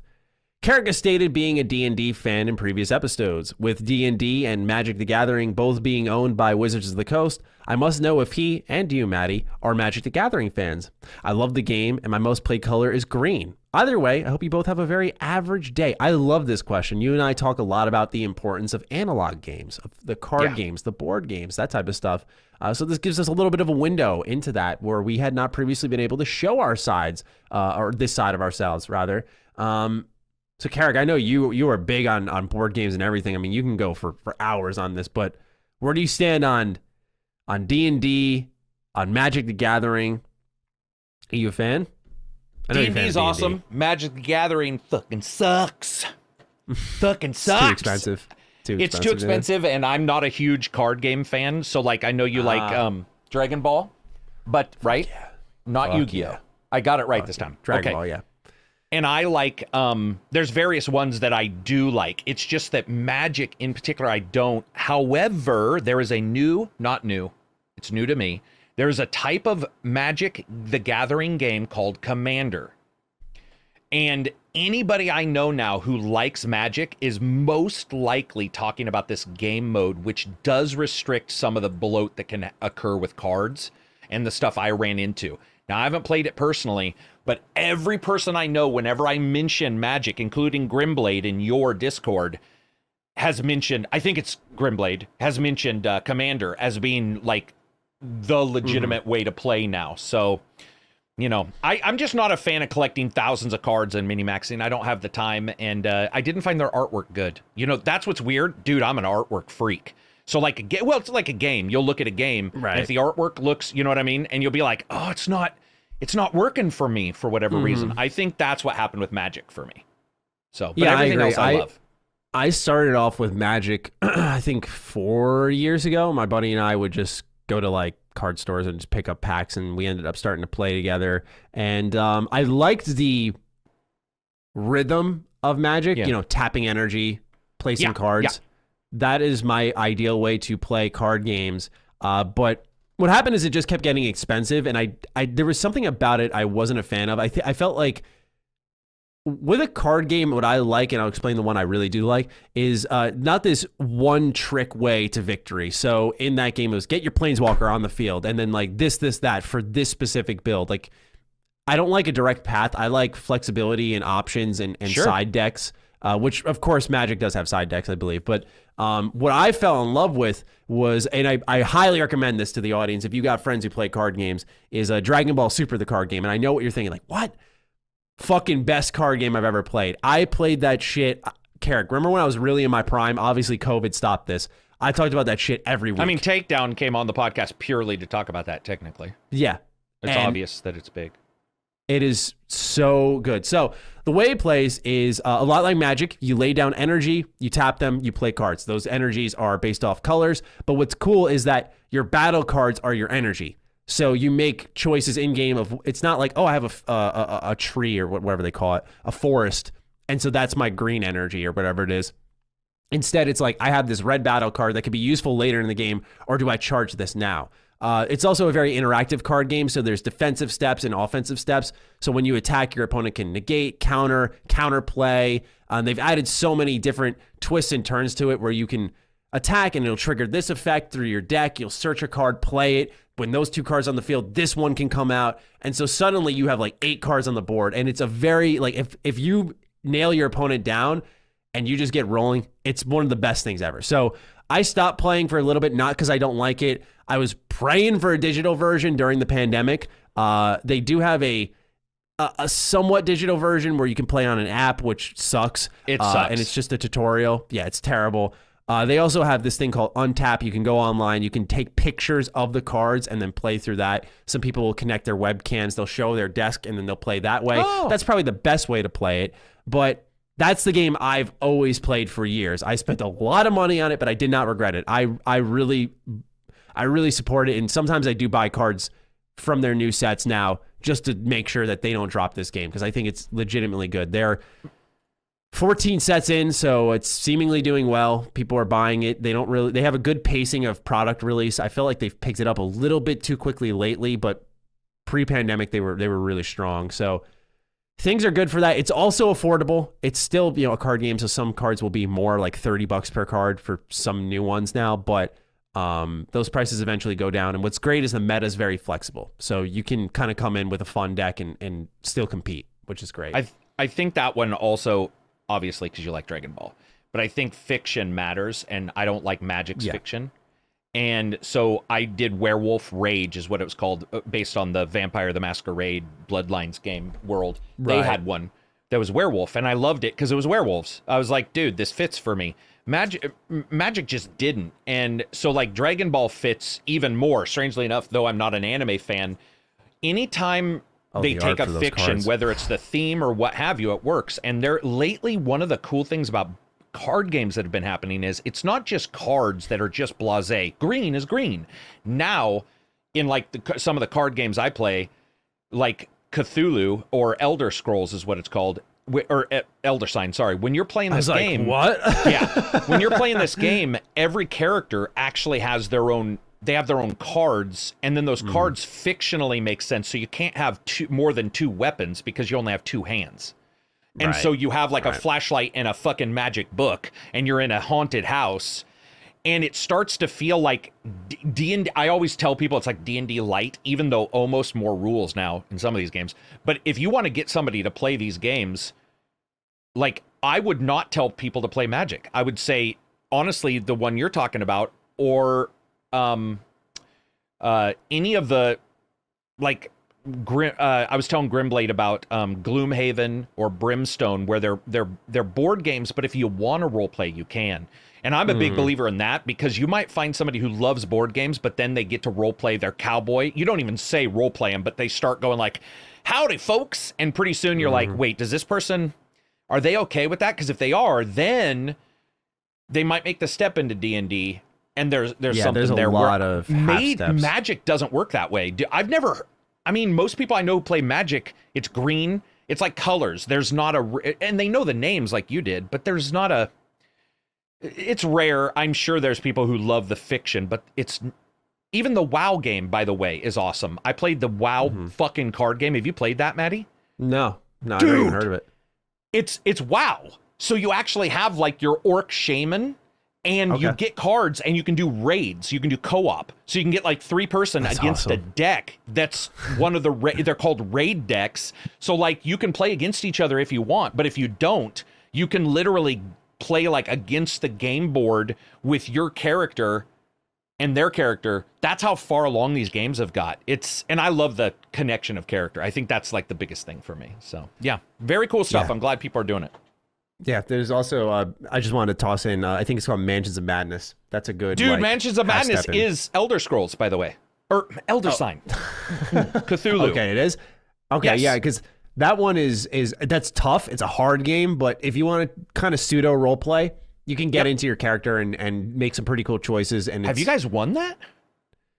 Uh, Because dude, we, got had our to- butts kicked almost. Yeah, no, no, we had to. I'm pretty sure we had to retry. Yeah, we had to retry a couple of times because it, That- it- yeah, yeah, that shit's hard. It, it's fun because, but that's Cthulhu. It's on purpose supposed to be about dying, technically. But. Yeah. that's funny you played that. I the didn't know you had played insanity one. thing, you're just constantly losing. Yeah. Dude, you're constantly like your guy's just a gibbering idiot by halfway through the game. You're like, what the fuck is going on? Yeah, yeah. I like it's that, hard though. to fall in love with because you're so confused. Because normally, as you get deeper, you get better, but in this, you get far fucking worse. It's exactly right. You get you start out going like da da da da. I'm shiny new kid, and pretty soon you're like drooling. Bad shit's happened, and you're like, dude, I don't think this is gonna work eight out. diseases, and it's like, yep, I'm. Yeah, right. You're riddled with VDs. It's just like, hey, man, hope you enjoyed the game. It's a positive night. You know, everybody goes home all depressed. I'm just joking. They don't. But you got to know that type of game is different than the others. Yeah. yeah for sure. It's a fun challenge with friends. Mm-hmm. Brandon Hardman's our last write-in for the show. On a recent episode of Sacred Symbols, Colin stated he would like to see Castlevania developed by FromSoft. I personally think a From-developed game set in the world of Berserk would be dope. What property or IP would you like to see reimagined under a new dev, and who would you like to see do it? Uh, so, by the way, Brandon, go play Demon Souls because Demon Souls takes a lot of ideas from Berserk. Just so you know, like a lot of them, uh, especially story wise, lore wise.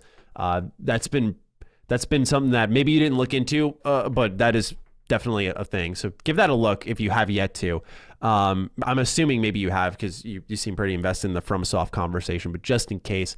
Uh, for me, Karak, I put it into the universe last week about Ninja Turtles. I said we need a new Yeah. fucking Ninja Turtles game because uh, what happened was someone said, "Where's the arcade games for back compat?" Because there was the the I think it was '87 arcade game or something like that. Uh, there was Turtles in Time reshelled, uh, and then they had Out of the Shadows, the kind of Arkham style co-op Yeah. Ninja Turtles game, which was really janky but had a lot of potential. Um, and I put it out into the universe like they need to make a new Ninja Turtle game. Week later, here we are. We have a new Ninja Turtle game. Really exciting stuff.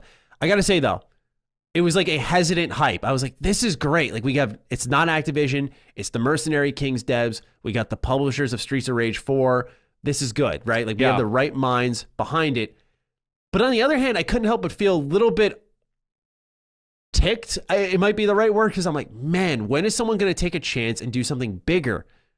Like make a a better Mutants in Manhattan, make a open world Ninja Turtles game, something more ambitious.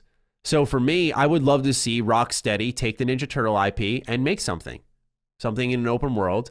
I think that would be. So it doesn't have to be FromSoft. He says, "What he property or FromSoft. IP would you like to see reimagined under a new dev, and who would you like to see do it?" Oh, I see. So Rock Rocksteady. And Ninja Turtles would And be Ninja a Turtles. dream. Oh Rocksteady God, did which Batman. of the Batmans? All of no, they did all of Uh, them but Origins, right? yeah, Is that how? yeah. Or, yeah, okay. Okay. Even though I liked Origins, I was just making sure we were clear on that. Mhm. Um,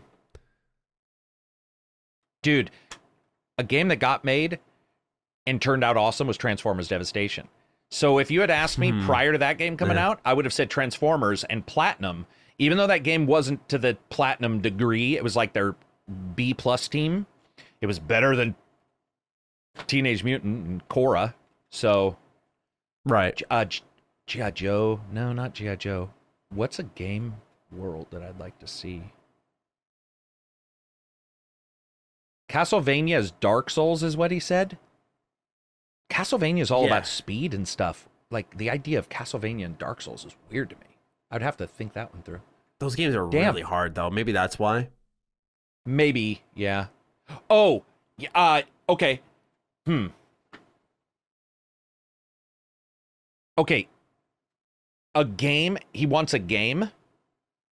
Uh, a You- property or or, IP you would like to see property or imagined IP. under a new dev. So I'm assuming a game.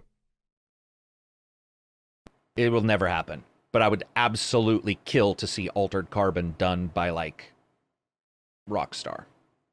It'll never happen. Mm. I want a futuristic game by them.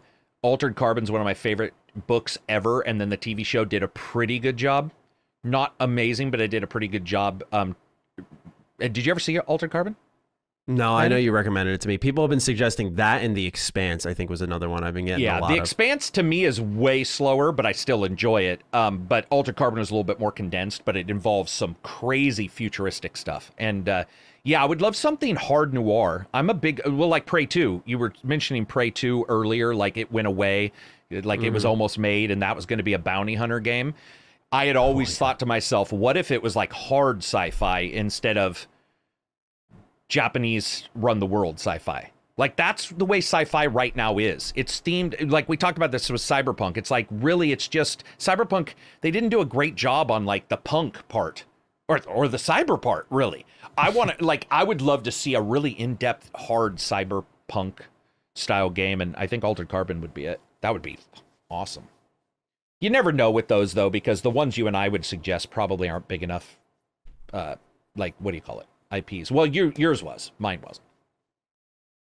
Yeah, absolutely. So great picks overall. I gotta watch those shows. Do you know how many seasons are in? Altered is only one season for the Prime, and then it's a character who changes bodies for every season. So the second Oh. season is a completely different actor. Interesting. Um, the guy who played. Uh, oh, you don't watch Avengers movies, do you? You do. no, I did The Avengers. The Uh, the the metal flying dude, uh, the black actor. He's Falcon? awesome. He's uh, the- Falcon. um, yeah, Falcon. forget his um, name. He plays in the name. second season. Um, but it's uh, very futuristic, dude. Virtual realities in people's heads. It's like you have to, you can't do what I think you may want to do, which is sit down and be like, hey, let's watch a show and eat some popcorn. You actually, that one you really have to watch. So it may not, may not be a big, a big, perfect, you know, leap for you. Yeah, that's one I want to check out though. But that's it. That's all we got for this episode. Karak, our longest one yet, certainly deserving of the topic. Is it? Yeah, two hours, 37 minutes as I look at our recording. Pretty, uh, My Pretty clock lengthy. stopped, bro. oh, wow. Do you know what my clock says?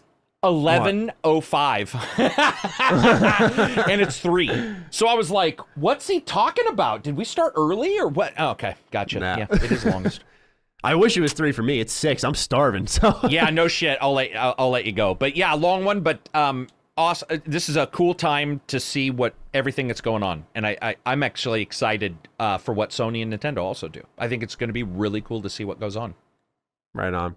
I agree. All right. Well, we hope all of you enjoyed episode 10 of Defining Duke. We hope to see you all next week as um, we continue to grow this show. I imagine this one will do well. So if you're new here, we hope to see you stick around and uh, we really appreciate that. Uh, and so with that, uh, it's time for us to sign off. Karak, any final words? No, make sure to check out our stuff as well.